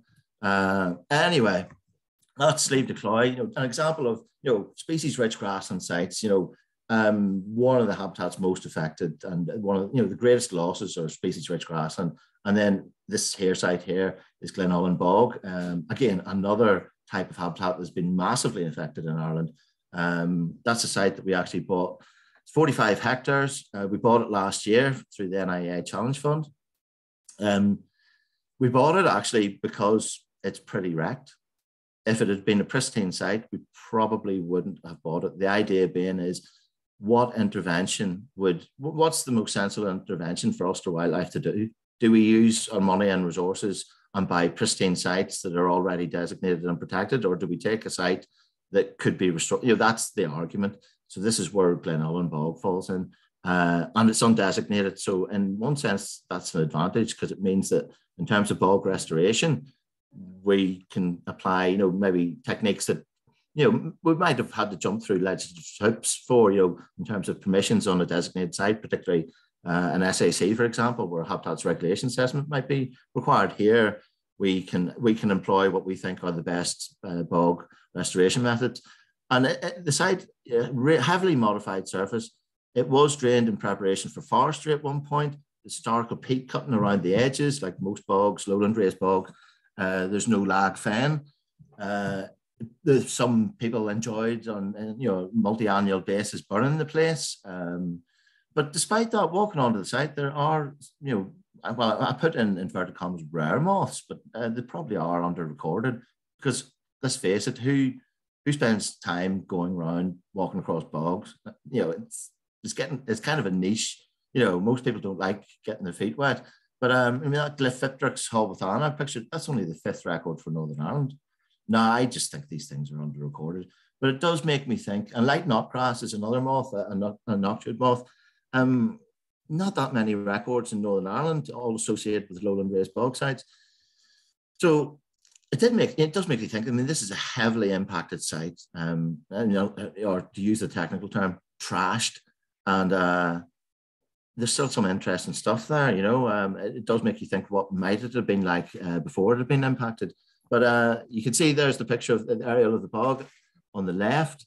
And then on the right is we uh, commissioned RPS to, uh, well, we commissioned LiDAR surveying, which is basically flying a plane over it.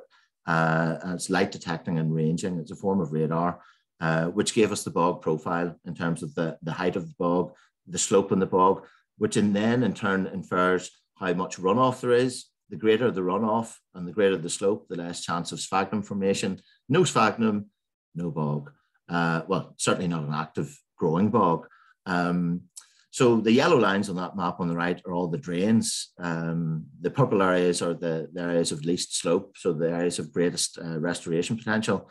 So that's basically what we're going to do to Ballynahone Bog. Um, we're going to put in seven and a half kilometres of uh, bonding, uh, peat bonds, uh, around about 425 dams, uh, funded through the Dare project. And the reason I stuck that in is that, you know, there is an awful lot of habitat restoration work out there that is being carried out across Ireland, particularly in bogs and species-rich grasslands.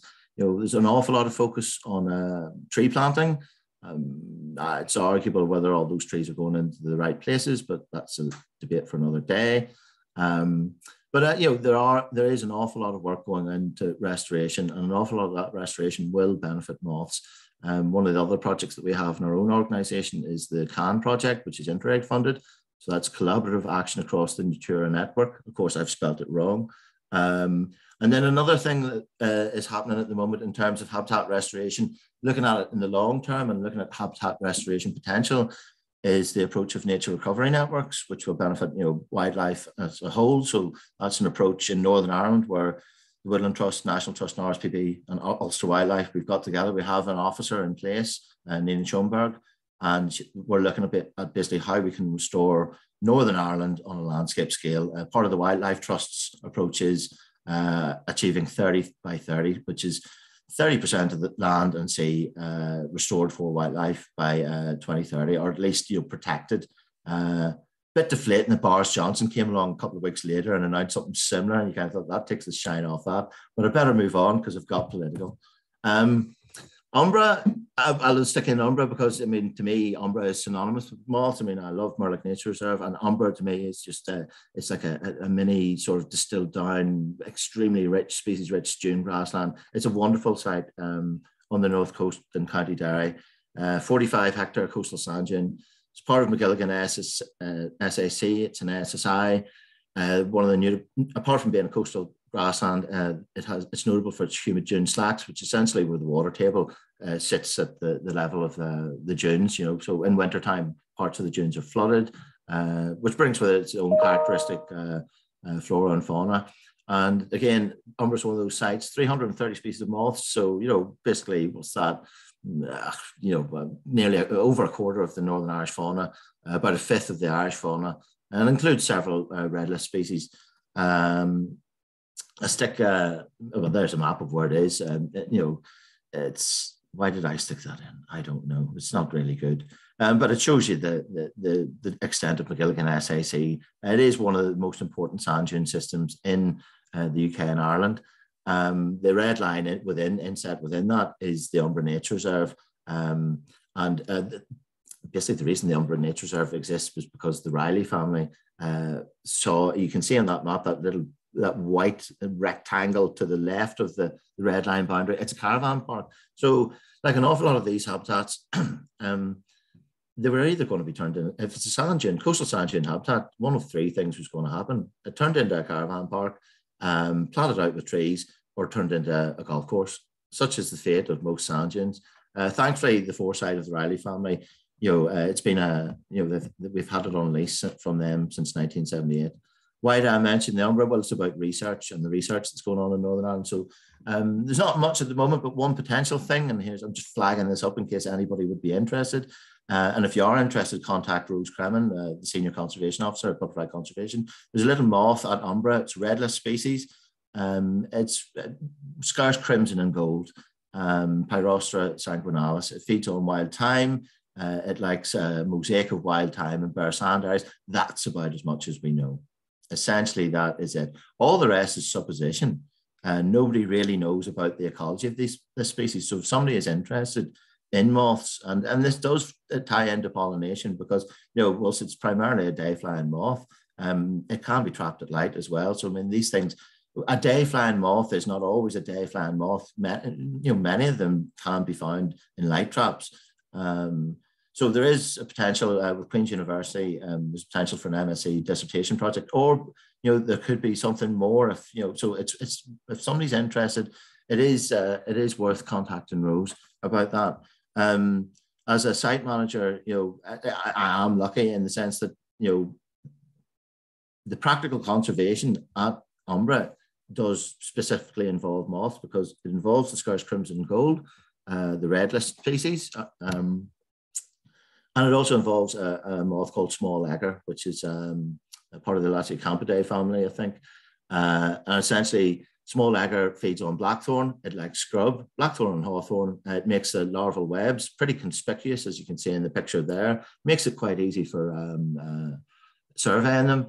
Whereas, so that, that, that's one feature of the umbra site. Uh, so I have to balance that and the requirements of small egger and its, its need for blackthorn scrub against the open uh, short turf and sand thyme dominated habitat of the Pyrausta sanguinalis. So, you know, there's, you know, there are, within one site are two conflicting habitat requirements for two moth species, but I quite enjoy that, you know, because it means I have to actively think about moths for my work and I can get away with it. Um, but definitely there is a project there if anybody would be interested. So I've covered coastal grassland, I've covered bog, I've covered species-rich grassland, and the last thing I suppose I'm going to cover is um, oak woodlands. And we, lucky enough, in Ulster Wildlife, as part of Glenarm Estate, there's the Glenarm Oakwoods SSI. Um, it has been described as one of the best parklands in Western Europe by a guy called Keith Alexander, who did a scoping study in uh, uh, woodlands and wood pasture, um, which is quite an accolade. Um, and it's fine. You can go around and say this all you want. Oh, yes, this is one of the most important wood pastures and, you know, blah, blah, blah in Western Europe. But we did a BioBlitz in uh, 2014 as part of the All Ireland BioBlitz. And within 24 hours, 1,100 species of all taxa um, recorded at Glenarm. You know, I think that's a, quite a, you know, and it was a rubbish day in May, quite cold overnight. We did have something like 34 moth traps out, I think. So we might have been at a bit of an advantage to the, the competitors. I don't think that you know they thought we're well we're that mad, but yeah, why not? You got to go for these things. Um, but I, I, think that is reflective of how important uh, these ancient oak woodlands are, uh, and you know places like Glenarm. Uh, if 1,100 species can be recorded uh, within that parkland within in 24 hours in May, what might occur within a year? Um, the active work that we're doing there is a, a task called Oak Haloing. So basically, over decades, um, the oak woodland, the wood pasture, uh, these large open grown oak trees with species rich grass underneath them. Uh, grazing had ceased, so therefore that meant that uh, they'd heavily scrubbed up, and uh, tree species such as ash, alder, uh, hazel had actually punched up through the canopy of the oak trees and were negatively impacting on them.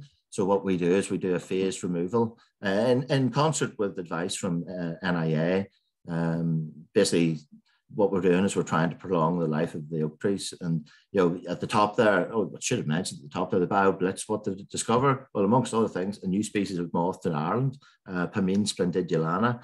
And then last uh, 2020, actually, um, I did. Uh, I always like to do Moth Night, uh, you know, the National Moth Night. I always like to do it at Glenarm, primarily because the dates are usually chosen in England, and they never seem to tally with a date that's suitable in Ireland because they always forget that it rains most of the time here. So picking picking a date like September doesn't really fit for a good night's moth trapping unless you're undercover. So Glenarm provides that. So you know, worst case scenario, you know, do moth night at Glenarm, and it paid off. I got a new species to Northern Ireland, which was the second Irish species, um, and it's a species that's a colonist. Um, it's quite interesting, Devon carpet. I mean, the name in itself should you know infer heavily of you know where this moth formerly was found. It was in southern England and South Wales. It has taken off now. Um, the reason I mentioned that's because a new species to Northern Ireland. And actually, it was a bit cheeky because uh, being a nature reserves manager and asked what what events do I want to do. Well, when it came to uh, an event for Ulster Wildlife members this year, I picked exactly the same date as I'd recorded uh, Devon Carpet last year, and happily enough, I found it at the same place. So that co- confirms, you know, that there's a population there, and that you know it, it probably is becoming well established. So new species to Northern Ireland, then you know, just to put that in context, I looked at the last couple of years you know, there's quite a few species being found on an annual basis. Um, 13 in 2018, 2019 bumper year, you know, 18 species, and then something I don't know what happened in the year 2020. Something something of pretty profound consequences must have happened that I don't know. Maybe people couldn't weren't allowed out of their houses or something like that. But certainly, uh, obviously, COVID obviously had an impact, and this year as well. Um, just I don't want to talk about that, but anyway, there's different you can't look at these things just as new species. Things uh, like the Devon carpet, I mean, that, that's gone through an almost exponential rise. It's now found in Cumbria. It's no surprise that it's colonized Ireland. It feeds on things like marsh bedstraw. The dusky thorn is a different thing. I actually had that in my garden, second Irish species, uh, first for Northern Ireland. Uh, don't think that's going to do too well because it feeds on uh, feeds on ash, unfortunately, as a caterpillar. So uh, uh, and the fact it's not certainly not going to occur in that garden again because it's uh, since been bulldozed and flats are built on it. Um, and then you have another category. You know, so these species that are colonizing of their own volition, of their own accord, whether it be you know because they've got wings or because of climate change. But then you've got other species that are inventive. So the mint moth was found in a garden centre. In fact, it was found in a garden centre during lockdown, and the guy wouldn't give me the precise location for fear that people would twitch it, as in for fear that moth people would come in their droves to come and see this species on an imported mint plant. Um, anyway, the other one that um, uh, seems to have been overlooked and would probably account for the larger numbers in 2018 and 2019 is the increase in leaf miners. Probably a you know a, a, an arena of uh, moth recording that's you know, been largely overlooked, um, which is essentially those species of moths that feed in between uh, you know the upper and lower epidermis of a leaf and, and other tactics. But uh, you know, most people wouldn't even know they exist. So uh, it's a sort of a, a, new burgeoning field. If you want to add something new to Ireland, start looking at leaves. Uh, and actually, on the topic of new species to Ireland, I'm not going to steal any thunder. There's a, the Moths Ireland and the Northern Ireland Moth uh, Records Committee, or there's an upcoming upcoming article in the Atropos magazine, uh, which basically summarizes and will list um, the, basically over 150 new species of moths have been recorded in Ireland since 2001. So uh, it's, it's quite an achievement. Um, and if you want to read more about it, you're going to have to buy Atropos. Uh, what do I do apart from that? That's the day job. Unfortunately, when I go home, uh, I can't seem to give up. Um, uh, you, you nearly finished or? Yep, nearly finished. All I'm going to say is the Moth Records Committee takes up the rest of the time. There's nearly over half a million moth records in Northern Ireland. All that data has to be cleaned and it comes in various forms. It's sent to, uh, when it's all done, it's all sent to CEDAR. It's disseminated to the right people. It's sent to Moths Ireland. The produces the Moths Ireland map. It's sent to Butterfly Conservation. That's the macro moths. And then there's Murlough, and I'm glad I left this to the end, and I knew I wouldn't have time because then it don't seem quite so insane because I've only got a limited amount of time to talk about it. It's a June heathland owned by the National Trust, First Nature Reserve in Ireland, potentially, uh, since 1967. I went a bit crazy and I decided that I should try and moth trap as much as I can, could, and yeah, probably have visited over 3,000 times in the last 10 years, never mind the last 20. And I did get to the point that I would go to the moth trap, go back home, have a cup of tea, something to eat, and think, do you know what? I need to go back to Murlough and see if I can find some more moths. And then I'd go, this is crazy. It's too hot out here. But then I would wait until the sun went down and then I would go out again. Awful. I would go there in the middle of winter and stand on the avenue with headlights and a moth and a butterfly net, hoping to catch moths. Uh, and why did I do it? Well, 10% of all the moth records in Northern Ireland from Murlough. I don't know whether that's a good thing, but I, I got the moth list up to 798 species which is driving me absolutely insane because I would much rather it be 800 species. Why? I don't know because Murlough is actually Murlough Lower Townland. I lived in Murlough Upper Townland. So if you combine the two, there's 818 species. But I did get six new species to Ireland and added 30 new species to the Northern Ireland list. And all I can say is moths are becoming popular. There's more moth trappers. Send in your records. Just give in to your obsessions. And uh, that map there which shows you the Ireland's macro moths recorded by species density. I think we should all work to try and turn as much of that map red as possible. So there you go. Thank you very much. Thank you very much, Andy. I knew it would be a good talk, and I was reluctant to to stop you, but you got onto Murlough at the end, which. Ah, uh, well, yeah. You see, I, I did purposely keep it to the end two sides because I thought if I'm actually honest about this, and let people know how. Um, you see, my wife's probably in the next room wanting to come in and say he's completely insane. He's insane. The thing is, it is good though. Moths are such, as Richard pointed out earlier, moths are such a diverse group that you know that you can have lots and lots of fun, interest, learning, whatever you want. It's it's an almost limitless topic, you know, as far as I'm concerned. Yeah, and, and without without the dedication of people like Andy, um, who does the verification as well, we wouldn't have the data set that Callum and people like that can use or, or other people can use in the analysis. Uh, so there's an awful lot of work uh, going on to that. And a lot of people have turned to moths in lockdown. Lockdown has had that positive impact. Mm. Um, so um, I think we're now going to go to question and answers, and I'm just going to start looking through the uh, see if I can catch up. So Molly Crilly had a question, which I think you answered, Andy, in your talk, saying, uh, have you a plan in place for Glen Bog? You showed a slide um, mm-hmm. about re-wetting it. I don't know, you want to give any more details on that, or that was covered enough in the talk, I think, from Molly? You were yeah. talking about the funds and things like that. Yeah, but I suppose all we could say, I could say is, you know, it's, it's mostly funded by um, NIEA there through the Challenge Fund and there were various scenarios. So basically, there was I think four scenarios, uh, A through to D. Uh, scenario D was the all singing, all dancing. Well, we've got we've managed to get enough money to do scenario C. So essentially, all of the high bog will be restored, and it still leaves us scope to carry out future restoration work. So um, yeah, I mean, it's something that should be, you know, it's happening across Ireland. You know, there's an awful lot of yeah, there's there's, there's a lot of restoration and, and, and these new techniques that people are are, are learning and discovering these these bundings. Mm. Uh, so uh, we're going to go to Callum. There's a question here for Callum from Donica, um, and maybe Richard as well, but certainly Callum.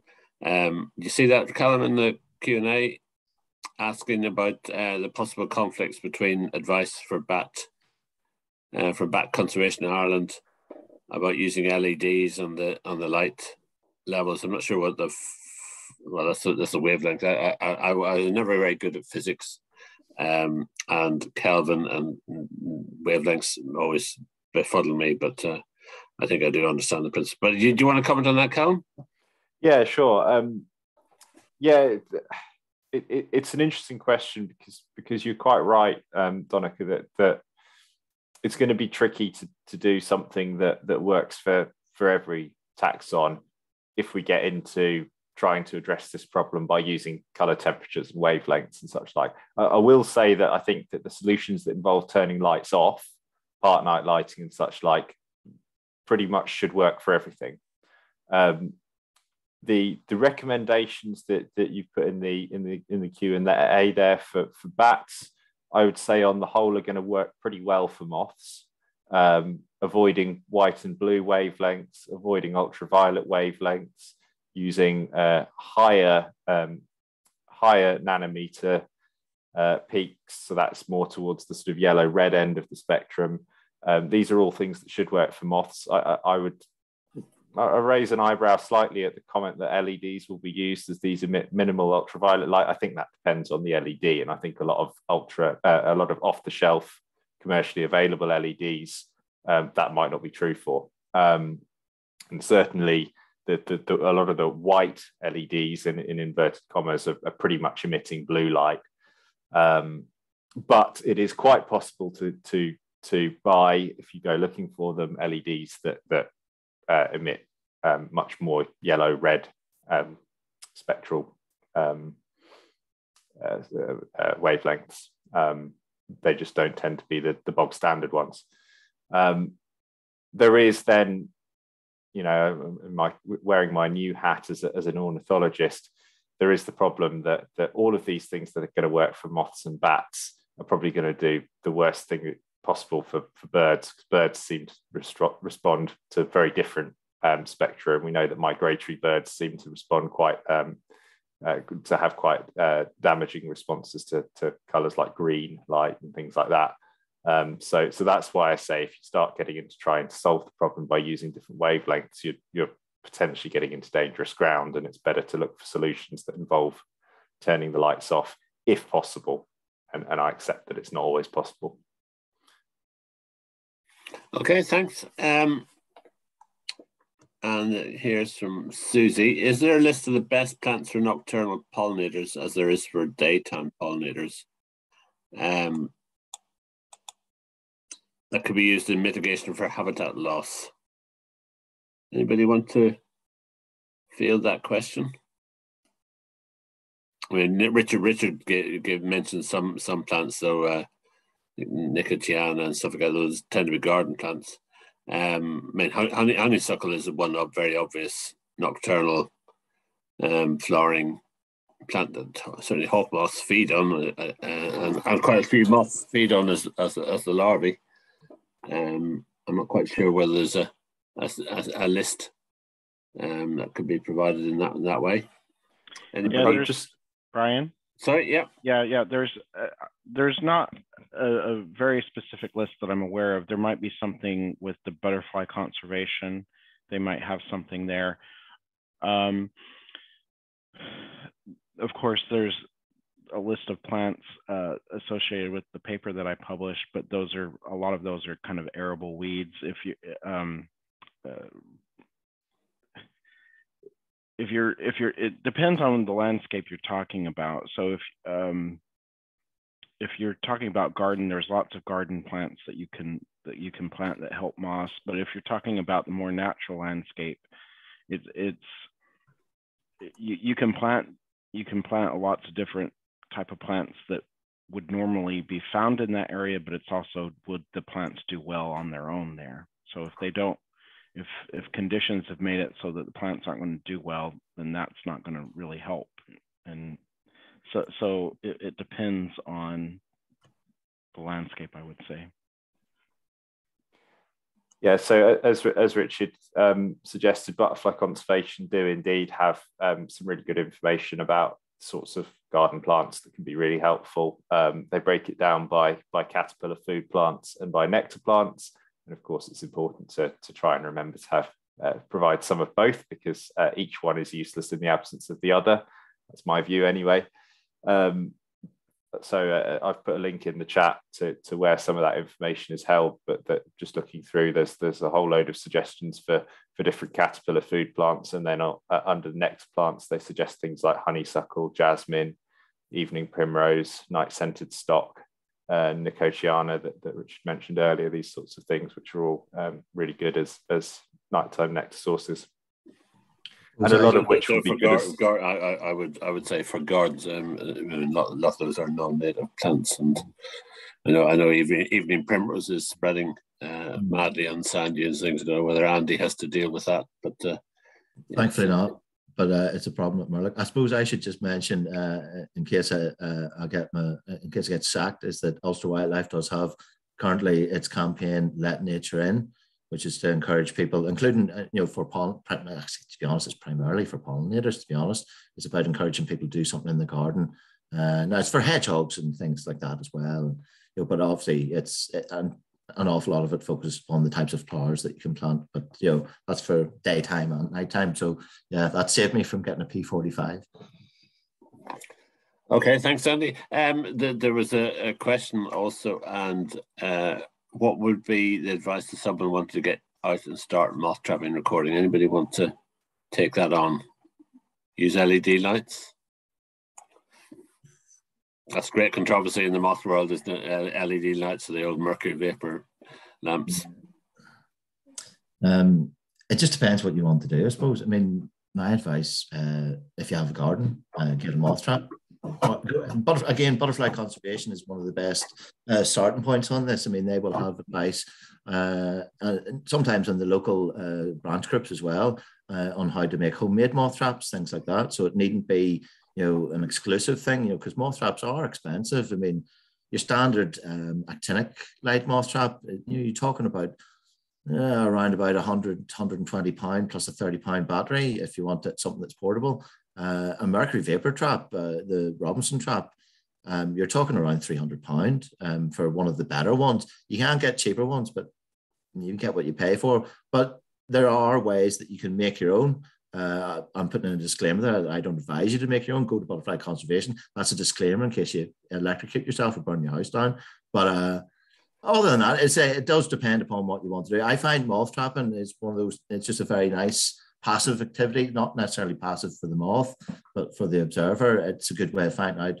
You, you an average garden in a in a sort of a, a decently vegetated urban area, and in Northern Ireland, you can get in excess of 200 species a year in your garden, perhaps more. Um, but other than that, it's uh, you know a, a butterfly net.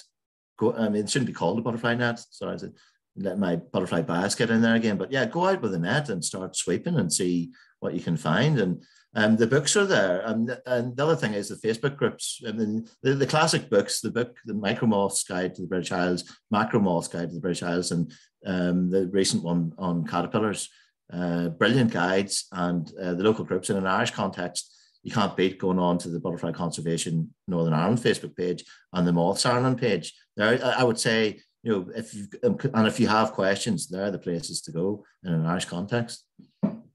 Yeah, well, one, one of the one of the downsides of very different downsides of COVID is that moth trapping used to be an event that was uh, run by organisations, and that was that was really the best place to go and mm ask these questions, see see what type of traps they were yeah. running. Unfortunately, those, those, events don't happen, and it's like anything else. The the advice is is often personal. People find their system is best, or or they mm-hmm. can make their own system, or, or as Andy says, um, you know, you've got you've got to be, know what you're doing um, because you're dealing with electricity and, and outside in night time and things in the in the wet and things but it, it, it, it, yeah, it is an activity that is very accessible. And some, some people can just start by searching their house walls. You know, if you, like the wall of a house, uh, mm-hmm. that can attract moths. Um, on the continent, it's it's very common just to have a white sheet and a very bright light. But you do have to stay around your moth trap then if you want to see see them. Whereas uh, it's less common less common on the continent to have the closed moth traps that we have in, in Britain and Ireland. Uh, but that, that that's the question actually I wanted to ask Callum, and apologies, Callum, if I if I missed that in your talk. But I mean, your your your your thesis partly at the beginning was that the moth decline is not necessarily a decline related to habitat, but more related simply to, to light pollution. But light, light pollution only comes along whenever land gets developed, and so how, how much of the how much of the decline in moths is actually not caused by the light pollution directly, but by the fact that you've mm. now got housing, you've now got roads, therefore the habitat that the moths need. There's no plants. You know, how, is is that factored into into? Can you can you comment on that, or am I just barking up the wrong tree? No, you're absolutely not barking up the wrong tree. I think that's um, a big part of the reason why why you know in time of 2013 when the state of state of larger moths report was written we, we didn't really feel like we knew whether light pollution was important because all of the all of the spatial analyses that tried to get at this hit, hit, hit exactly this problem that that light light pollution is is very tightly tied into to urbanization which has all of its own effects. Um, I, I, the, I think the two studies that that that I that I showed in my talk um, I felt that those two were were the most persuasive in terms of there being an actual effect of light pollution above and beyond urbanization, because they kind of, they kind of found ways to to unpick the two um, from each other. So uh, in the case of of the, the, the Dutch study, they included variables that related to urbanization, and they rec- included variables that related to light pollution, and it was, it was the light pollution ones that that really strongly predicted declines right. or otherwise. Um, in the case of Doug Boyes' study, um, essentially he used he used rural um, rural streetlights, which are quite hard to find, um, as it turns out. Um, they tend to be associated with road junctions and roundabouts and things like that.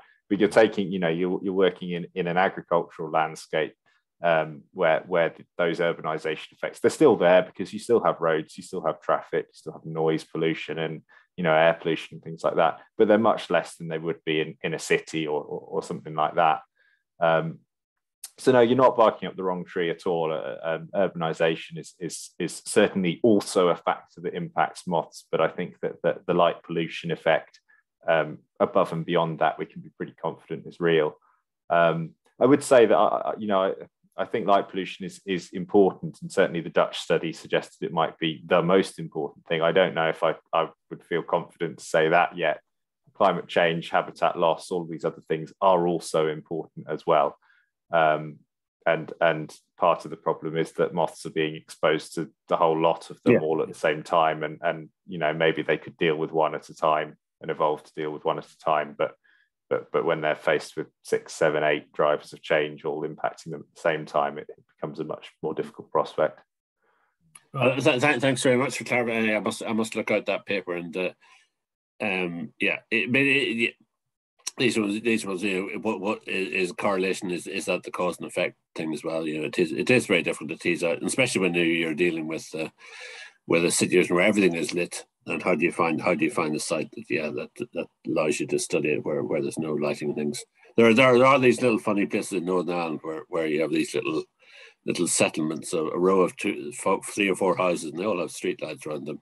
But mm the habitats around them are buggered anyway, so uh, they're all they're all agricul- intensive agricultural land. But I find people are addicted to keeping lights on. It may not, I don't know what it's like in the rest of the the in GB, but I mean, uh, you know, I, I used to drive my wife mad on drives from Newcastle to Belfast at night or back from Belfast, where I would play the unnecessary light game, which just consisted of me going one, to, you know, then it would go to 129, 130, 136. Look at that person, they've got six lights out there. And but actually the point was, all these lights were totally unnecessary.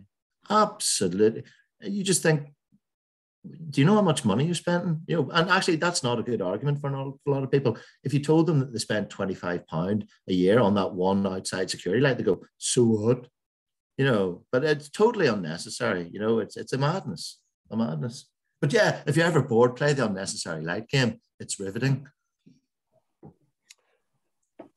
Yeah, I I, I I'm playing count the oak, oak trees on uh, on my walks now, and uh, uh, that that's actually a very interesting issue for for grassland management. O- oak trees and jays. And mm. that, that's that's going totally off off the radar. But anyway, um, I don't see any more questions. There's someone who asked about hiring out moth traps, but I think that would be a that would be unlikely. I don't think there's anywhere that um, hires them out in that sense because you know hiring out electrical equipment is just you know for insurance purposes and things like that.